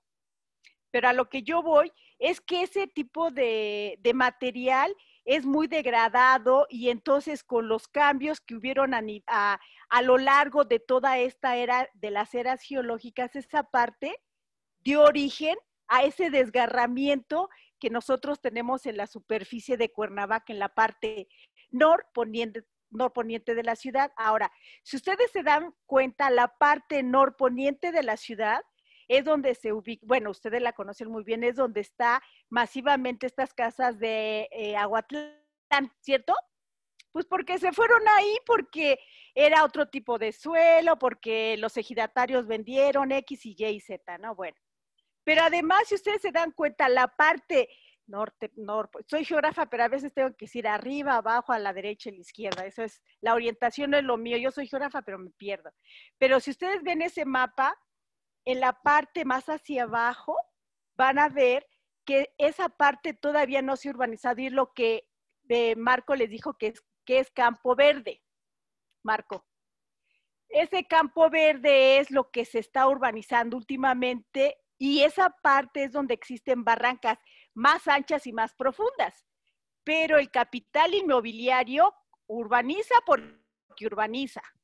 Y entonces aquí hay que sacar el mayor beneficio del que, del poco terreno que tiene Cuernavaca para urbanizar. Y esa es la última parte que se está urbanizando. Hay unas partes de la barranca que no se va a poder hacer. Es lo que pasa ahorita, o lo que, no ahorita, es lo que pasó en los 70 me parece, o 80 ahorita no lo recuerdo, en los 80 Marco, o 70 cuando surge la cañada. Supongo que muchos, no sé si ustedes ubiquen bien ese fraccionamiento, la cañada. Pues ese fraccionamiento, la cañada, se urbanizó porque aplanaron porque eran campos donde los niños iban a jugar, Marco me platicaba, o cuando yo a veces subía a los taxistas me decía la gente, no, es que nosotros veníamos a, jugar por aquí porque además había agua y no sé qué tanto. Pues el capital, que el capital inmobiliario, pues lo que quieren es urbanizar, urbanizaron toda esa parte y ahorita en la imagen urbana y en el mosaico urbano de Cuernavaca, esa parte, ese fraccionamiento cerrado, es un fraccionamiento donde las casas se cotizan muy caras. Y fue donde el 2009 pasó un evento muy desagradable, que fue cuando se deslavó la parte de subida a Chalma y se vino toda esa parte y casas quedaron mal. Pero ahí no es lo mismo cuando yo como habitante de ese desarrollo voy a enfrentar una catástrofe como esa que estuvo en la cañada, a lo que pasó en el 2009 cuando en esta rotonda que había esa pequeña rotondita que hay aquí, donde se une Subida Chalma, donde se une hacia, hacia actores y, eh, ¿cómo se llama esta? Ávila Camacho. No sé si es cuando un taxista eh, se, se quedó ahí atrapado o un no sé qué, y entonces una persona o dos personas le ayudaron y moles, bajó ese alud de lodo y se lo llevó y me parece que los cuerpos los encontraron hasta Jutepec. ¿Por qué? Porque Cuernavaca está formada de un sistema de barrancas. Esas barrancas eran naturales y esas barrancas fueron originadas por estas cuestiones del glacis de Cuernavaca porque es un suelo muy, muy que se va. Pero, no, eh, pero eso nosotros, esa parte nosotros no lo hacemos como personas, sino es el medio ambiente, ya sea por la erosión o el metamorfismo que está, eh, que está surgiendo en ese suelo. Qué peligroso lo que cuentas. Entonces, por ejemplo, todas las casas de, de Lomas de Tetela, de, por ejemplo, de estos fraccionamientos de Lomas Zompantle, ¿corren el peligro de que se puedan deslavar? Bueno, si están en la parte más alta y si no tienen, este, bueno, cimientos y eso, pues tiene, todo, todos corremos el riesgo. Una cosa que todos sabemos y eso yo lo aprendí aquí en Cuernavaca, es que las, bueno, yo lo aprendí porque viví en, ya vivo en Cuernavaca desde el 2005 y lo he visto, y ustedes se dan cuenta que puede caer una tromba de agua, bueno, no es de agua y de arriba para abajo, como dice Lalo Salazar, ¿no? Pero bueno, un, uno de, de noticieros, de información, pues esa lluvia cae, puede caer en, en 10 minutos una tromba, pero las barrancas es el desagüe natural que tiene la ciudad. Y es lo que pasó en el 2009. Ajá. Pero si las lluvias son constantes, constantes, constantes, como pasó en el 2009, ¿qué es lo que pasa? Las partes altas, el, el agua se está filtrando y entonces se reblandece el suelo y vienen los saludes de lodo, como pasó en el 2009 que hubo esa, esta cuestión de alud de lodo y todo estaba lleno de lodo. Yo no sé si algunos de ustedes lo leyeron en las noticias o bajaron a ver, estaba horrible de verdad que nosotros estábamos rentando en, la, en, unas casitas que estaban a la entrada de la cañada, de verdad que era horrible. Nosotros escuchábamos patrullas, después salimos al otro día y lo que yo vi era dantesco, era dantesco así como ahorita están saliendo las imágenes del, del, este, del incendio que está en Estados Unidos, que las imágenes que se han tomado del incendio son artísticas, pero realmente todo lo que está atrás es como si fueran, como si viéramos que el mundo se va a acabar, que están diciendo es como si fuera apocalíptico ese, ese incendio que está pasando en Estados Unidos, ¿no? Entonces yo cuando vi esa, ese material, dije, es que qué vulnerabilidad tiene toda la gente que vive en su vida chalma. O sea, es terrible. Y afortunadamente, no sé si recuerden las gentes que no hay, creo yo que no ha llovido tan fuerte como ese 2009. No sé si lo recuerden, pero hay de verdad. Yo no, pero era, salí en los periódicos y eso yo decía, es que de verdad, qué horrible y qué feo es lo que le sucedió a esas gentes y hubieron, hubo, los taxistas pues, se murieron y es más, ahí hay hasta este, floreros de las, de las viudas o de que quedaron y ahí ustedes ven el 9, el 8, el 9 de diciembre que traen las flores cada año a partir de esa fecha. Entonces sí, realmente las barrancas, eh, ya me fui. ¿Qué pasó? No sé qué me pasó. Muchas gracias, Concepción. Pues, Adiós, porque yo ya no los vi, ya no los veo. Muchas gracias, Concepción. bien. Este, yo quiero decirte, Marco, que estoy gratamente sorprendido por tu, por tu presentación. Además, este, el habernos compartido toda la, cartografía histórica desde, desde varios siglos atrás y poder ver con mapas y con fuentes el poblamiento de Cuernavaca me hace pensar que definitivamente a partir de la geografía se pueden entender muchas cosas de la historia de, la, de, Cuernavaca. Entonces, qué buen punto de partida tener esta maravillosa tertulia contigo, Marco. Te felicito. Muchas gracias. Qué bueno que les gustó. La verdad es que para mí fue un poco un reto el, adaptar, ¿no? El, eh, todo esto que pudo haber sido muy técnico, pero tratar de hacerlo, pues, atractivo, interesante, ameno, y que, pues, se prestara un poco al diálogo, ¿no? Que esa es la idea. Efectivamente. Entonces, doy la palabra. ¿Alguno de ustedes quieren, quiere comentar algo acerca de esta tertulia? ¿Algo que les haya impactado? ¿Preguntas para Marco? Adelante, Humberto.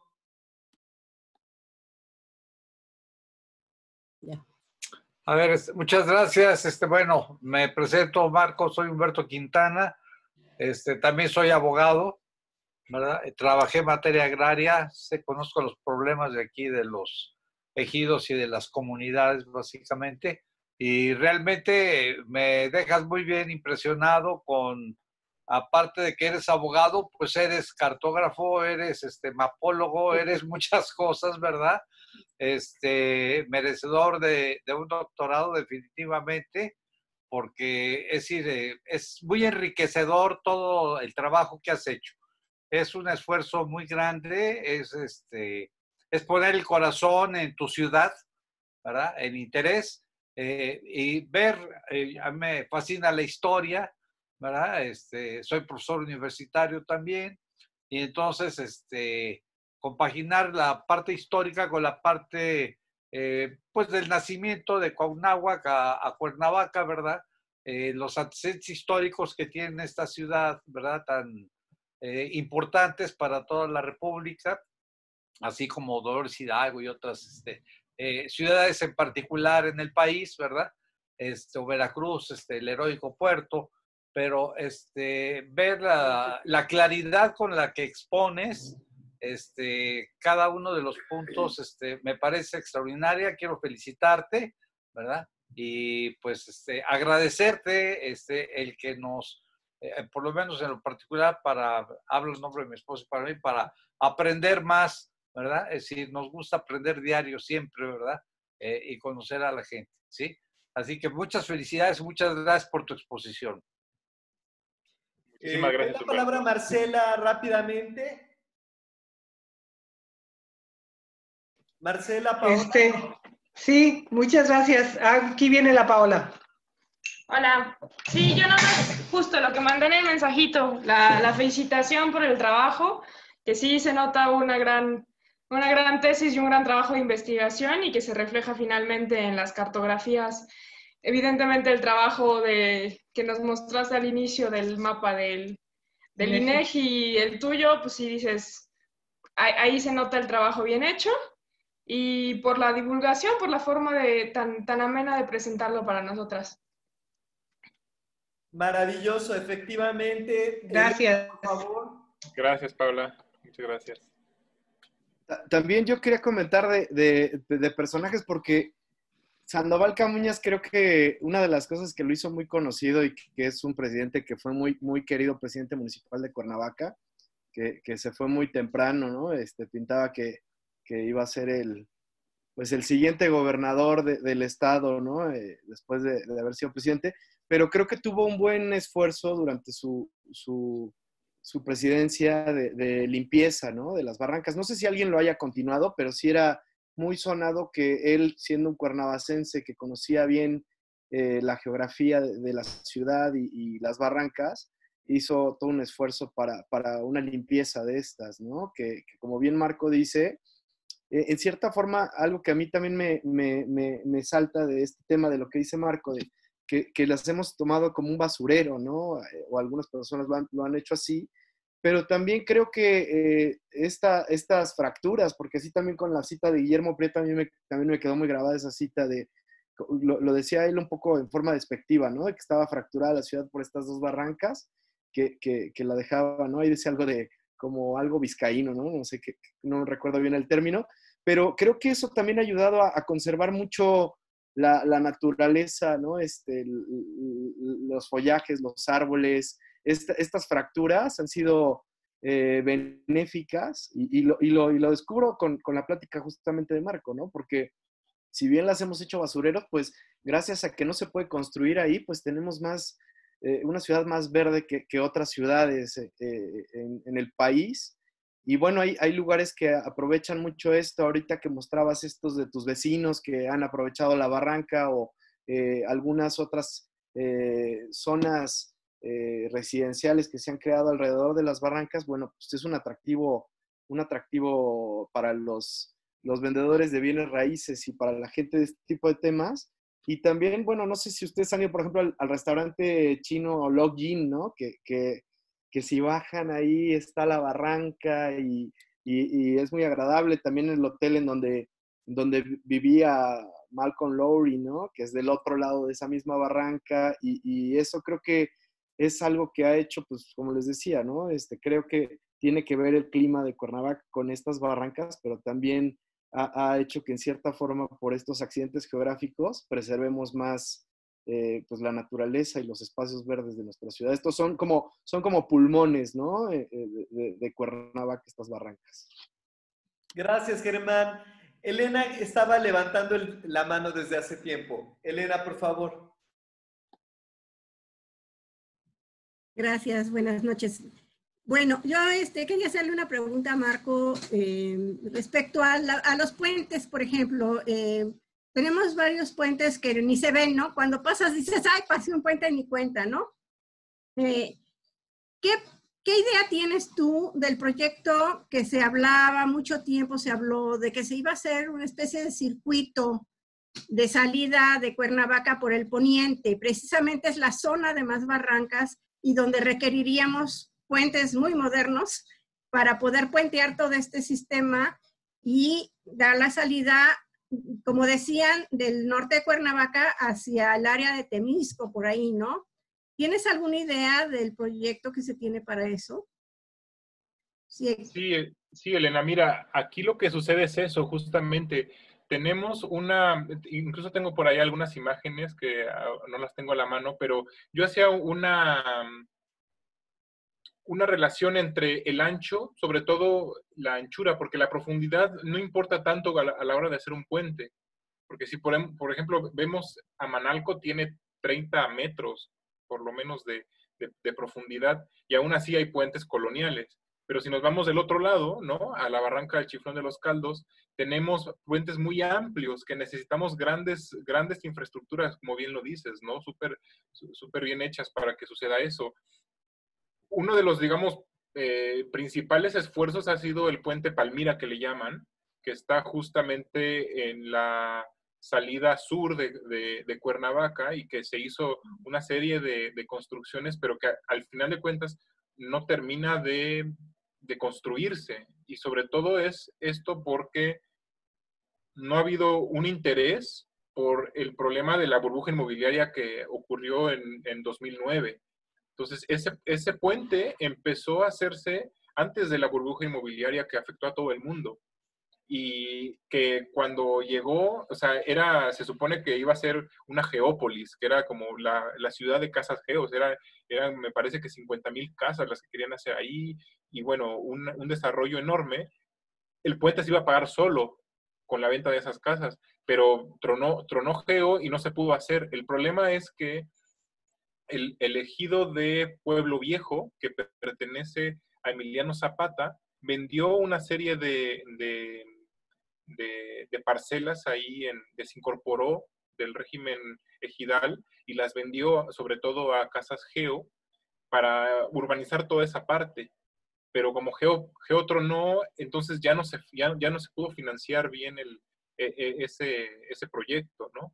Entonces, ahí, hay mucha especulación, hay mucha especulación del suelo sobre la parte poniente de Cuernavaca, que eh, sí, o sea, ahora lo, decimos que es Temisco, pero realmente si nosotros nos vamos más al norte de Temisco, por esa parte que sería el ejido de Pueblo Viejo, em, son las tierras ejidales de Santa María.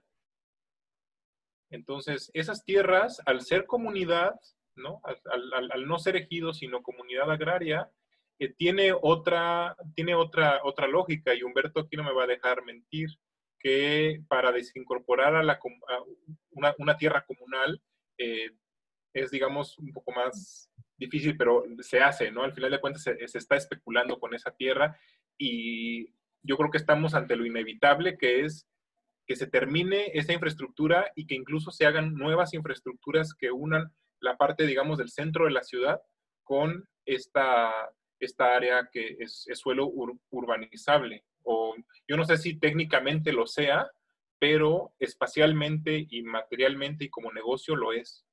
Entonces sí, yo creo que estamos ante una nueva urbanización hacia, hacia ese lado. Sin embargo, los que vivimos aquí en Cuernavaca sabemos que este, ah, eh, los que hemos tenido, digamos, alguna propiedad en, tierra, en terrenos ejidales, sabemos que es muy difícil vender este, esas propiedades, esos terrenos. Eh, también este, por amigos que no han podido, este, que más bien se ha detenido la urbanización en ciertas partes de Cuernavaca, en gran medida porque los, los señores de, los ejidos eh, son muy celosos de esas tierras. Además, algunas de ellas tienen, digamos, títulos desde tiempos coloniales este, o, anteriores incluso, según algunos, y, por lo mismo se sienten muy ligados a, esa tierra. Entonces, eh, es, es, complejo y afortunadamente no se ha urbanizado, porque la verdad es parte de la belleza de, esta, de esa parte de Cuernavaca. Sí. Algunos terrenos tienen muchos dueños porque revenden y revenden y muchas veces, al menos sucede acá arriba también en Chamilpa y toda esta zona, si ven una casa que ya se construyó y durante un tiempo no está en uso, la invaden, se apropian de ella y ya perdiste.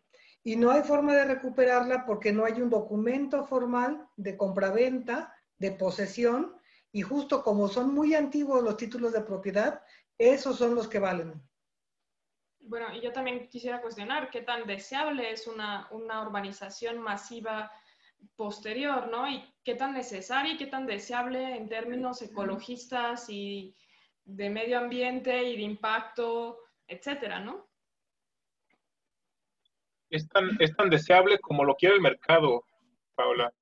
Al final de cuentas, eh, el, proceso, el proceso urbano ahora, ¿no? Nos guste o no, lo, los ritmos del proceso urbano los, los lleva el mercado. Sí. Y como les mostré en esa gráfica, en donde por un lado va la población y por otro lado el crecimiento urbano, eh, no obedece a las lógicas de uso o de necesidad de la población, sino que la gente o estas grandes inmobiliarias encuentran en su negocio no vender casas, sino hacerlas. Que ese es el gran problema del modelo de vivienda que tenemos. Y que bueno, esa sería como la segunda parte de mi, de, alguna otra charla, porque ese es justo en el tema de mi tesis de doctorado de ahora. Yo estoy haciendo el doctorado en Chile, ¿no? Pero em, el tema del doctorado es sobre la, tenencia de la propiedad y la tenencia del, suelo social en el estado de Morelos. Entonces, más o menos es lo que hemos estado encontrando, ¿no? Que hay un, hay un problema en donde hay una desconexión entre las necesidades y el, eh, la, reacción, digamos, del mercado inmobiliario. Y también del modelo de ciudad expansivo. Ya nos dejaste picados, Marco. Se nos va a antojar hacer una segunda sesión contigo porque la verdad este, ha sido genial. Este, ya casi son las dos horas y seguramente todos tenemos muchas ganas de seguir platicando sobre estos temas. Este, si, si te animas, pues... Déjame terminar la tesis primero porque todavía está ahí cocinándose eso. Muy bien, porque te puede servir de, de este, de práctica previa. Sí, súper. Hoy, este, Adolfo, ¿también puedes este, platicar algo? ¿Querías mencionar algo, Adolfo? Tienes que prender el micrófono. Sí, este, yo pensaba nada más, de acuerdo a, las disertaciones que está haciendo Marco, me parecen muy valiosas. Eh, quiero felicitarte porque eres un joven demasiado emprendedor en investigación, saltas de un lado de la academia que son el, derecho a, lo que es la cartografía, que, es complicado porque hay que dominar algunas otras eh, partes de las ciencias, ¿no? Muchas felicidades. Y también quería, quería este, mm, mm, mm, yo meter alguna idea con respecto a las necesidades del mercado, como, como decía Marco, ¿no? Obedece todo a las necesidades del mercado, una oferta y una demanda. Pero yo pienso, así como veo las cosas actualmente, que como que Cuernavaca ya llegó en sus requerimientos, más bien en su oferta de, este, lugares para vivir, eh, corresponde también a una demanda una demanda, digamos, eh, que, tuvo su boom en los años 60, 70, 80, etcétera. pero pienso que ya llegó a un punto de, de inflexión, un máximo, ¿sí? y em, empieza una, una especie de meseta, si no es que algo descendente en cuanto a las necesidades, porque todos esos eh, años, inclusive desde los 40, empezó a ser un foco de atracción para los lugares cercanos, inclusive hubo mucha migración guerrerense, para, porque había fuentes de trabajo en Cuernavaca, dos grandes fábricas textiles y, más cosas que había aquí en Cuernavaca como centro de, atractivo para conseguir trabajo.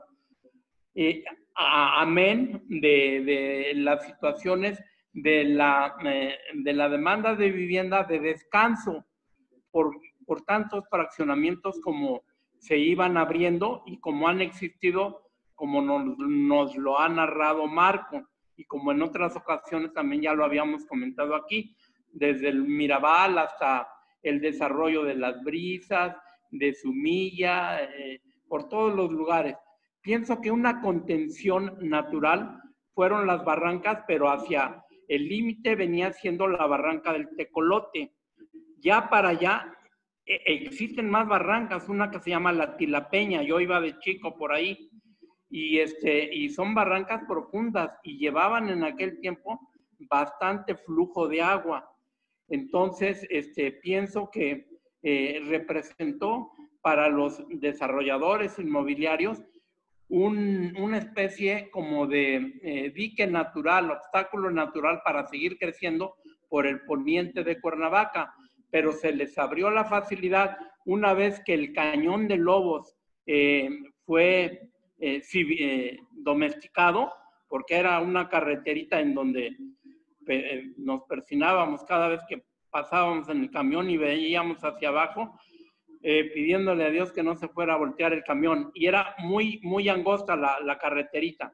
Ya ahora ya este, existe una carretera bastante aceptable y eso ha abierto eh, la, la, la, continuación en las aspiraciones de poder seguir fraccionando hacia lo que es el oriente de Cuernavaca. Aparte de que la Jiutepec, que es un municipio conurbado, eh, con todo lo que dio de, receptáculo de habitación por CIVAC, que fue un, fraccionamiento habitacional para darle satisfacción de vivienda a la gente que iba a trabajar en las fábricas que, que se habían proyectado para esa parte de desarrollo fabril. Este, eh, empezó pues la parte de oriente de Cuernavaca a crecer, crecer, crecer, lo que no podía haberlo hecho por la parte poniente por el dique de las barrancas, barrancas profundas. Como dice Marco, no es tanto la profundidad, sino la extensión. Más al poniente de, lo que es la barranca del Tecolote existen también barrancas y sería muy, muy costoso abrir puentes para poder fraccionar ahí esa parte. Todo eso de costos prohibitivos y todo eso de, de diques naturales hicieron que el crecimiento fuera hacia el oriente en lugar del poniente. Creo que estamos aquí en subida Chalma, en el límite de lo que es la zona urbana del crecimiento de, la parte poniente. Entonces, eh, y, también que ya se saturó con tantas casas geo y tantas firmas que hicieron muchas casas que incluso están abandonadas y como por ahí dijo Marcela, creo que eh, las, han, las han invadido, ya no podríamos nosotros presumir de que somos una, una polis que atrae eh, la habitación múltiple de mucha gente, sobre todo de la Ciudad de México, que se hacían muchas y muchas casas aquí. Yo creo que eso ya llegó a un punto de saturación, ya llegó a un máximo y empieza a decrecer la curva esta de, demanda. Eh, por un lado, qué bueno porque este, en la medida que esos servicios, esas demandas disminuyan, ya no vamos a tener la saturación que no siempre resulta tan deseable para nuestro crecimiento. Era todo lo que quería decir. Muchas gracias. Gracias a todos por sus enseñanzas. Gracias, Adolfo. Eh, yo, yo este, puse aquí un texto que encontré, no sé si vieron ahorita en el chat, les puse que encontré un texto de Marco y de Concepción de... Porque eh, algo que hablaban hace rato, que, comentaban de la cañada, pues fue una, un área protegida durante mucho tiempo, ¿no? Este, según lo que yo he leído. Y no sé, ahorita me falla la memoria de quién fue el que, el que permitió, no sé si justamente por ahí están los terrenos de Echeverría, ¿no? Y, también pues que fueron antes de Ávila Camacho y antes de J. Cañas y todo esto en Atzingo, pero pues como también cada día se han invadido más estas zonas y cómo la mancha urbana ha ido creciendo hacia allá, ¿no? Como dice Adolfo, eh, no, no, siempre es tan deseable y, y, en cierta forma detiene un poco esta, este crecimiento de la mancha, pero pues habría que tomar ciertas medidas para seguir protegiendo y sobre todo porque no nada más eh, son pulmones, como decía hace rato, sino que también representan peligro para los habitantes a veces que, llegan a, habitar esas zonas, ¿no? Que pueden ser víctimas de una luz o de, o de quedar sepultados sus, patrimonios sobre, sobre pues, el cascajo y todo lo que, pueda caer ahí. Rosa María, este, no sé si tengas algo que decir. Creo que antes este, querías preguntar algo. Prende el micrófono para que te podamos escuchar. Buenas noches. Muchísimas gracias por, por toda esta tertulia, ¿verdad? Tan, tan ilustrativa. Eh, y mi pregunta era que si acaso en los escritos de Alexander von Humboldt no habría ninguna aportación para, estas, para esta información. Ah, se habla de la naturaleza, ¿verdad? Eso es otra cosa, pero en cuanto a cartografía no hay ninguna información, perdón, Marco. Sí, gracias, Rosa. Mira, efectivamente eh, se habla de Humboldt, ¿no? Del paso de Humboldt por Cuernavaca, pero es un poco un mito. Lo que sucedió aquí con Humboldt es que eh, pasó, se supone que pasó más bien por la parte más oriente, por Jutepec y esta parte, no, no pisó Cuernavaca realmente. Eh, se habla de, esto de la eterna primavera, pero él lo, él lo menciona en su obra como, como un testimonio de, los, de sus habitantes, donde dicen que la, primavera parece eterna en, ese, en ese valle. Em, estaba como tratando ahorita de encontrar esa parte, pero sí, o sea, realmente no cartografió nada porque, digamos que estuvo aquí de pasada. Lo interesante de Humboldt, que es, obviamente el, padre de la, geografía moderna como, ciencia, ciencia exacta, pues nos da una noción sobre todo del concepto de naturaleza. Entonces, esa es una, una aportación importantísima en en todo estudio geográfico tiene que estar presente por un lado. Y por otro lado, pues sí, las descripciones que hizo sobre, sobre todo México, ¿no? Sobre, no solo sobre su ambiente natural, sino sobre su contexto político. Entonces, yo creo que, bueno, ahí es un poco contradictoria la, la, imagen de, de, Humboldt porque al final lo que hizo fue, él, él pudo, digamos, eh, financiar su estadía aquí en, aquí en México en general gracias al permiso que le dio Estados Unidos.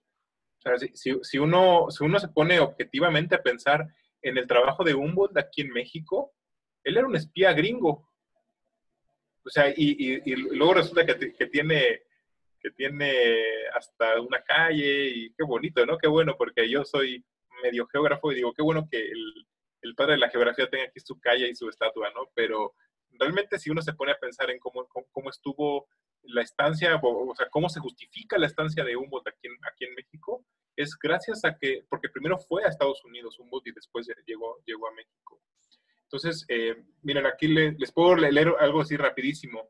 Por en, el, en el año de 1803, Alexander von Humboldt se adentró a explorar el virreinato de la Nueva España desde el puerto de Acapulco. A su paso por territorio morelense, el geógrafo y explorador alemán, a pesar de no hacer referencia a su área urbana, de Cuernavaca, dejó constancia del agradable clima que percibió en Cuernavaca, plasmándolo de esta manera. Y así dice la obra. Dice, al sudeste de la ciudad de Cuernavaca, la antigua Cuauhnáhuac, entre comillas, en la pendiente occidental de la cordillera de Anáhuac, en esa hermosa región que los habitantes designan como tierra templada, porque en ella reina una primavera eterna. Es todo lo que habla de Cuernavaca, donde los habitantes designan como tierra templada, porque en ella reina una primavera eterna. De ahí viene el mito de la eterna primavera. Excelente cita, Marco. Gracias por, por, esta precisión, porque a veces nos queda como si hubiera pasado años Humboldt aquí en Cuernavaca y no, ¿verdad? claro, fue pasadita. Esto lo tengo en mi tesis, se las puedo compartir. De hecho, para el, para el presente, digamos, eh, vemos que, que, Cecilio Robelo precisamente fue mucho más este, preponderante su, su, mirada dentro de la geografía, ¿no? Por, por ese aspecto que le tocó tal vez cartografiar pueblos y de todo hacia el sur. Tal vez, ¿no? Después de escuchar las tertulias anteriores que tuvimos. Eh, Marcela te quiere preguntar algo.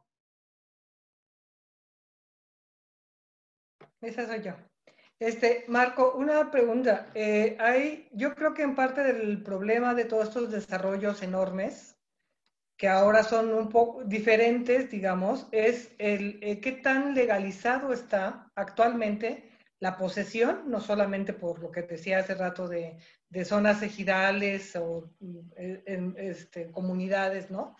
Eh, que todavía tienen la posesión del suelo, sino el cambio que se ha dado al derecho de uso de suelo. Yo me acuerdo hace muchos años, por ejemplo, no podías construir una casa de dos, tres pisos no podrías hacer edificios de 10 pisos. Y sin embargo, ahora muchos de estos desarrollos que comentan que están a orilla de barranca son justamente edificios que están prácticamente metidos a la, barranca y no sé, yo creo que mínimo tendrán 5 o 7 pisos. ¿Qué hay de eso también? ¿Estás viendo algo con respecto al uso de suelo, al tipo de uso de suelo? Si es comercial o habitación. Claro, mira, ahí yo no me metí a detalle a, revisar cómo está la clasificación de los usos de suelo. Eh, obviamente ha habido una, algo, algo que yo le llamo una flexibilización normativa, ¿no? Que va no solo de las leyes, digamos, federales, ¿no? De, más alto nivel, sino que también en las leyes municipales, que, o los reglamentos municipales que norman precisamente todo esto que me habla de las alturas, de las pendientes, ¿no? Porque los reglamentos de desarrollo urbano hablan también de una pendiente. Entonces, todo eso que está normado se ha ido flexibilizando, sobre todo por lo, que, por, por lo mismo de que hablamos, ¿no? Porque el mercado lo impone, el mercado lo permite y obviamente nuestra, nuestro, nuestros gobernantes así lo han, lo, han, lo han querido por la misma, no sé, podemos hablar incluso de la debilidad del Estado ante el, ante el desarrollo urbano, podemos hablar de muchos temas que están relacionados, eh, que, que, al final eh, decantan en una, en una forma urbana de, como la que tenemos ahora, ¿no? En donde las, los edificios de seis pisos se construyen en, en, la pendiente de la barranca, ¿no? Donde ya no, ya, ya no constituye un, un problema esto, ¿no? O digamos la técnica, la técnica, eh, la ingeniería civil ha superado estos, estos problemas, al menos aparentemente, ¿no? Hasta ahorita no hemos sabido que se caiga en alguno de esos, esperemos que, que no suceda nunca, pero siempre hay un, hay un riesgo digamos, para, la, para, la, seguridad de las personas y sobre todo también hay un problema para el, el medio ambiente, ¿no? Estos, estos microclimas de los que nos hablaba Germán, de los que nos hablaba la, doctora Connie, de, eh, que, que, se, que, se, generan al interior de las, de las barrancas, ¿no? Por toda esta serie de, de, características físico-climáticas, eh, que obviamente están vulneradas por este tipo de construcciones. Sí, o sea, claro que una parte es justamente el que los avances ingenieriles permitan ese tipo de construcciones y que digas, a pesar del tipo de suelo, a pesar de estar cerca de la barranca, que haya un, riesgo de reblandecimiento del suelo y que se vaya, también está la otra parte de las reglas o de las leyes que anteriormente existían y que supongo que también dependiendo del poder económico y, de, político de los gobernantes, se ha violado, que es el, el, el, el, derecho de la barranca propiamente. Es decir, antes decían, una vez que está marcado el lindero de la barranca, hay que dejar, no sé, no me recuerdo, perdón, haz de cuenta 10 o 20 metros a orilla de la barranca, que eso no debe ser construible, no debes de invadirlo porque es justamente lo que constituye el patrimonio federal. Esa es una zona federal, es una zona ecológica que debería de respetarse. Y ahora con las fotos que muestras y pues simplemente con que se dé una vuelta por ahí acá arriba, te das cuenta que ya no existe ese respeto al, al área que corresponde a la barranca. Entonces, no solamente no nos está importando el ancho de la barranca, sino también nos estamos comiendo ese pedazo de la, propio de la barranca, le estamos invadiendo. Claro, sí, bueno, nada más así un comercial rápido, lo puso Germán aquí. Hay un artículo que escribí junto con, con Connie, con la doctora Connie, sobre justamente eso, la regulación de las barrancas de Cuernavaca. Es una cosa increíble porque Cuernavaca se convirtió en el primer lugar del país en tener zonas naturales protegidas municipales. ¿Y cuáles son? Son algunas de nuestras barrancas. Uno puede decir que bueno, ¿no? Ya están protegidas. El problema es que, y es lo que más o menos eh, decimos en el artículo, que hay tres, digamos, hay, tres órdenes de gobierno que están, que están ahora mismo gestionando esas barrancas. El gobierno del estado son áreas naturales protegidas estatales, por ejemplo, la barranca Chapultepec la, gestiona el gobierno del estado. Las barrancas federales, que son prácticamente todas, a excepción de las barrancas estas municipales que fueron nombradas en el 2000, se me va la, fecha, pero fueron recientemente eh, eh, nombradas como, como, como barrancas, eh, como zonas, no áreas, zonas naturales protegidas municipales y que en teoría eh, el ayuntamiento tendría que estar eh, cuidando todo ese tipo de, situaciones directamente. La idea era que, o es, que con agua no intervenga en esas situaciones, sino que el ayuntamiento directamente haga todas las gestiones para que ese tipo de cosas no sucedan, pero yo creo que pasó como un poco al, contrario, ¿no? Entonces, bueno, más o menos de eso, de eso va el, el este textito que, hicimos, el artículo que, escribimos. Y sí, se convierte en un, reto porque ahora tenemos gobierno federal con Conagua, gobierno estatal con eh, Seagua o sea, no sé cómo se llama ahora, Seama, Seagua, Sea, se ha llamado de muchas maneras, y eh, con la Dirección de Ecología de, de, Cuernavaca, que ahora se encarga de algunos tramos. Y ahí algo que decía Adolfo sobre el tecolote, sobre ahí vienen toda la, todos los nombres de las, de, las, de, la, de las barrancas por tramo y dónde están, incluso hay, hay, algunos, algunos mapas ahí también. Pero eso ya está específicamente hablando sobre, sobre barrancas y su gestión. Muchas gracias, Marco. Quiero preguntar nada más a Lupita, Enedina, Erika, que también están presentes, si tienen alguna pregunta para Marco o si tienen ganas de hacer un comentario. Yo. Hola, no me ven, pero este, yo quería preguntar em, cuál es la perspectiva al futuro. Es decir, yo veo la importancia como de conectar vía puentes.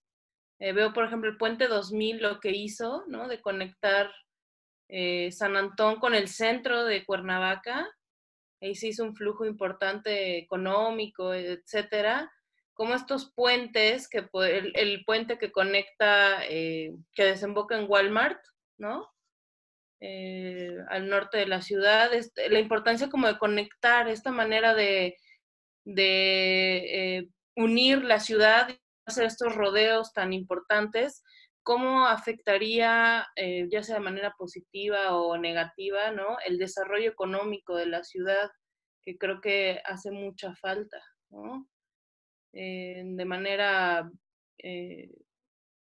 no sé si práctica o impráctica, ¿no? Conectando zonas, recuerdo que comentábamos, ¿no? Que había unas zonas de alta marginación que las dividía la barranca de unas zonas exclusivas, ¿no? Eh, yo no sé cuál sería el impacto de unir esas dos áreas vía un puente. Entonces, eh, se me hace muy interesante socialmente cómo esta parte de, unir a la ciudad, eh, en, qué decantaría, ¿no? Esa sería como mi reflexión y pregunta. Ok, perfecto, gracias. Muchísimas gracias por la pregunta. Pues em, aquí, hay, aquí hay varias perspectivas de las que se puede ver ese problema, ¿no? Uno puede decir que por el simple hecho de hacer una obra pública ya tenemos, eh, ya estamos atrayendo, em, digamos, estamos activando de alguna manera la, la economía, ¿no? Solo por el hecho de desarrollar el proyecto o el megaproyecto que luego, luego le llaman, ¿no? Entonces, por ahí digamos que ya tenemos un punto a favor del, de, de, las infraestructuras de, puentes o viales. Ahora, por el otro lado, tenemos este, este problema de em, qué pasa con la tierra, la propiedad de la tierra a la que se va a acceder.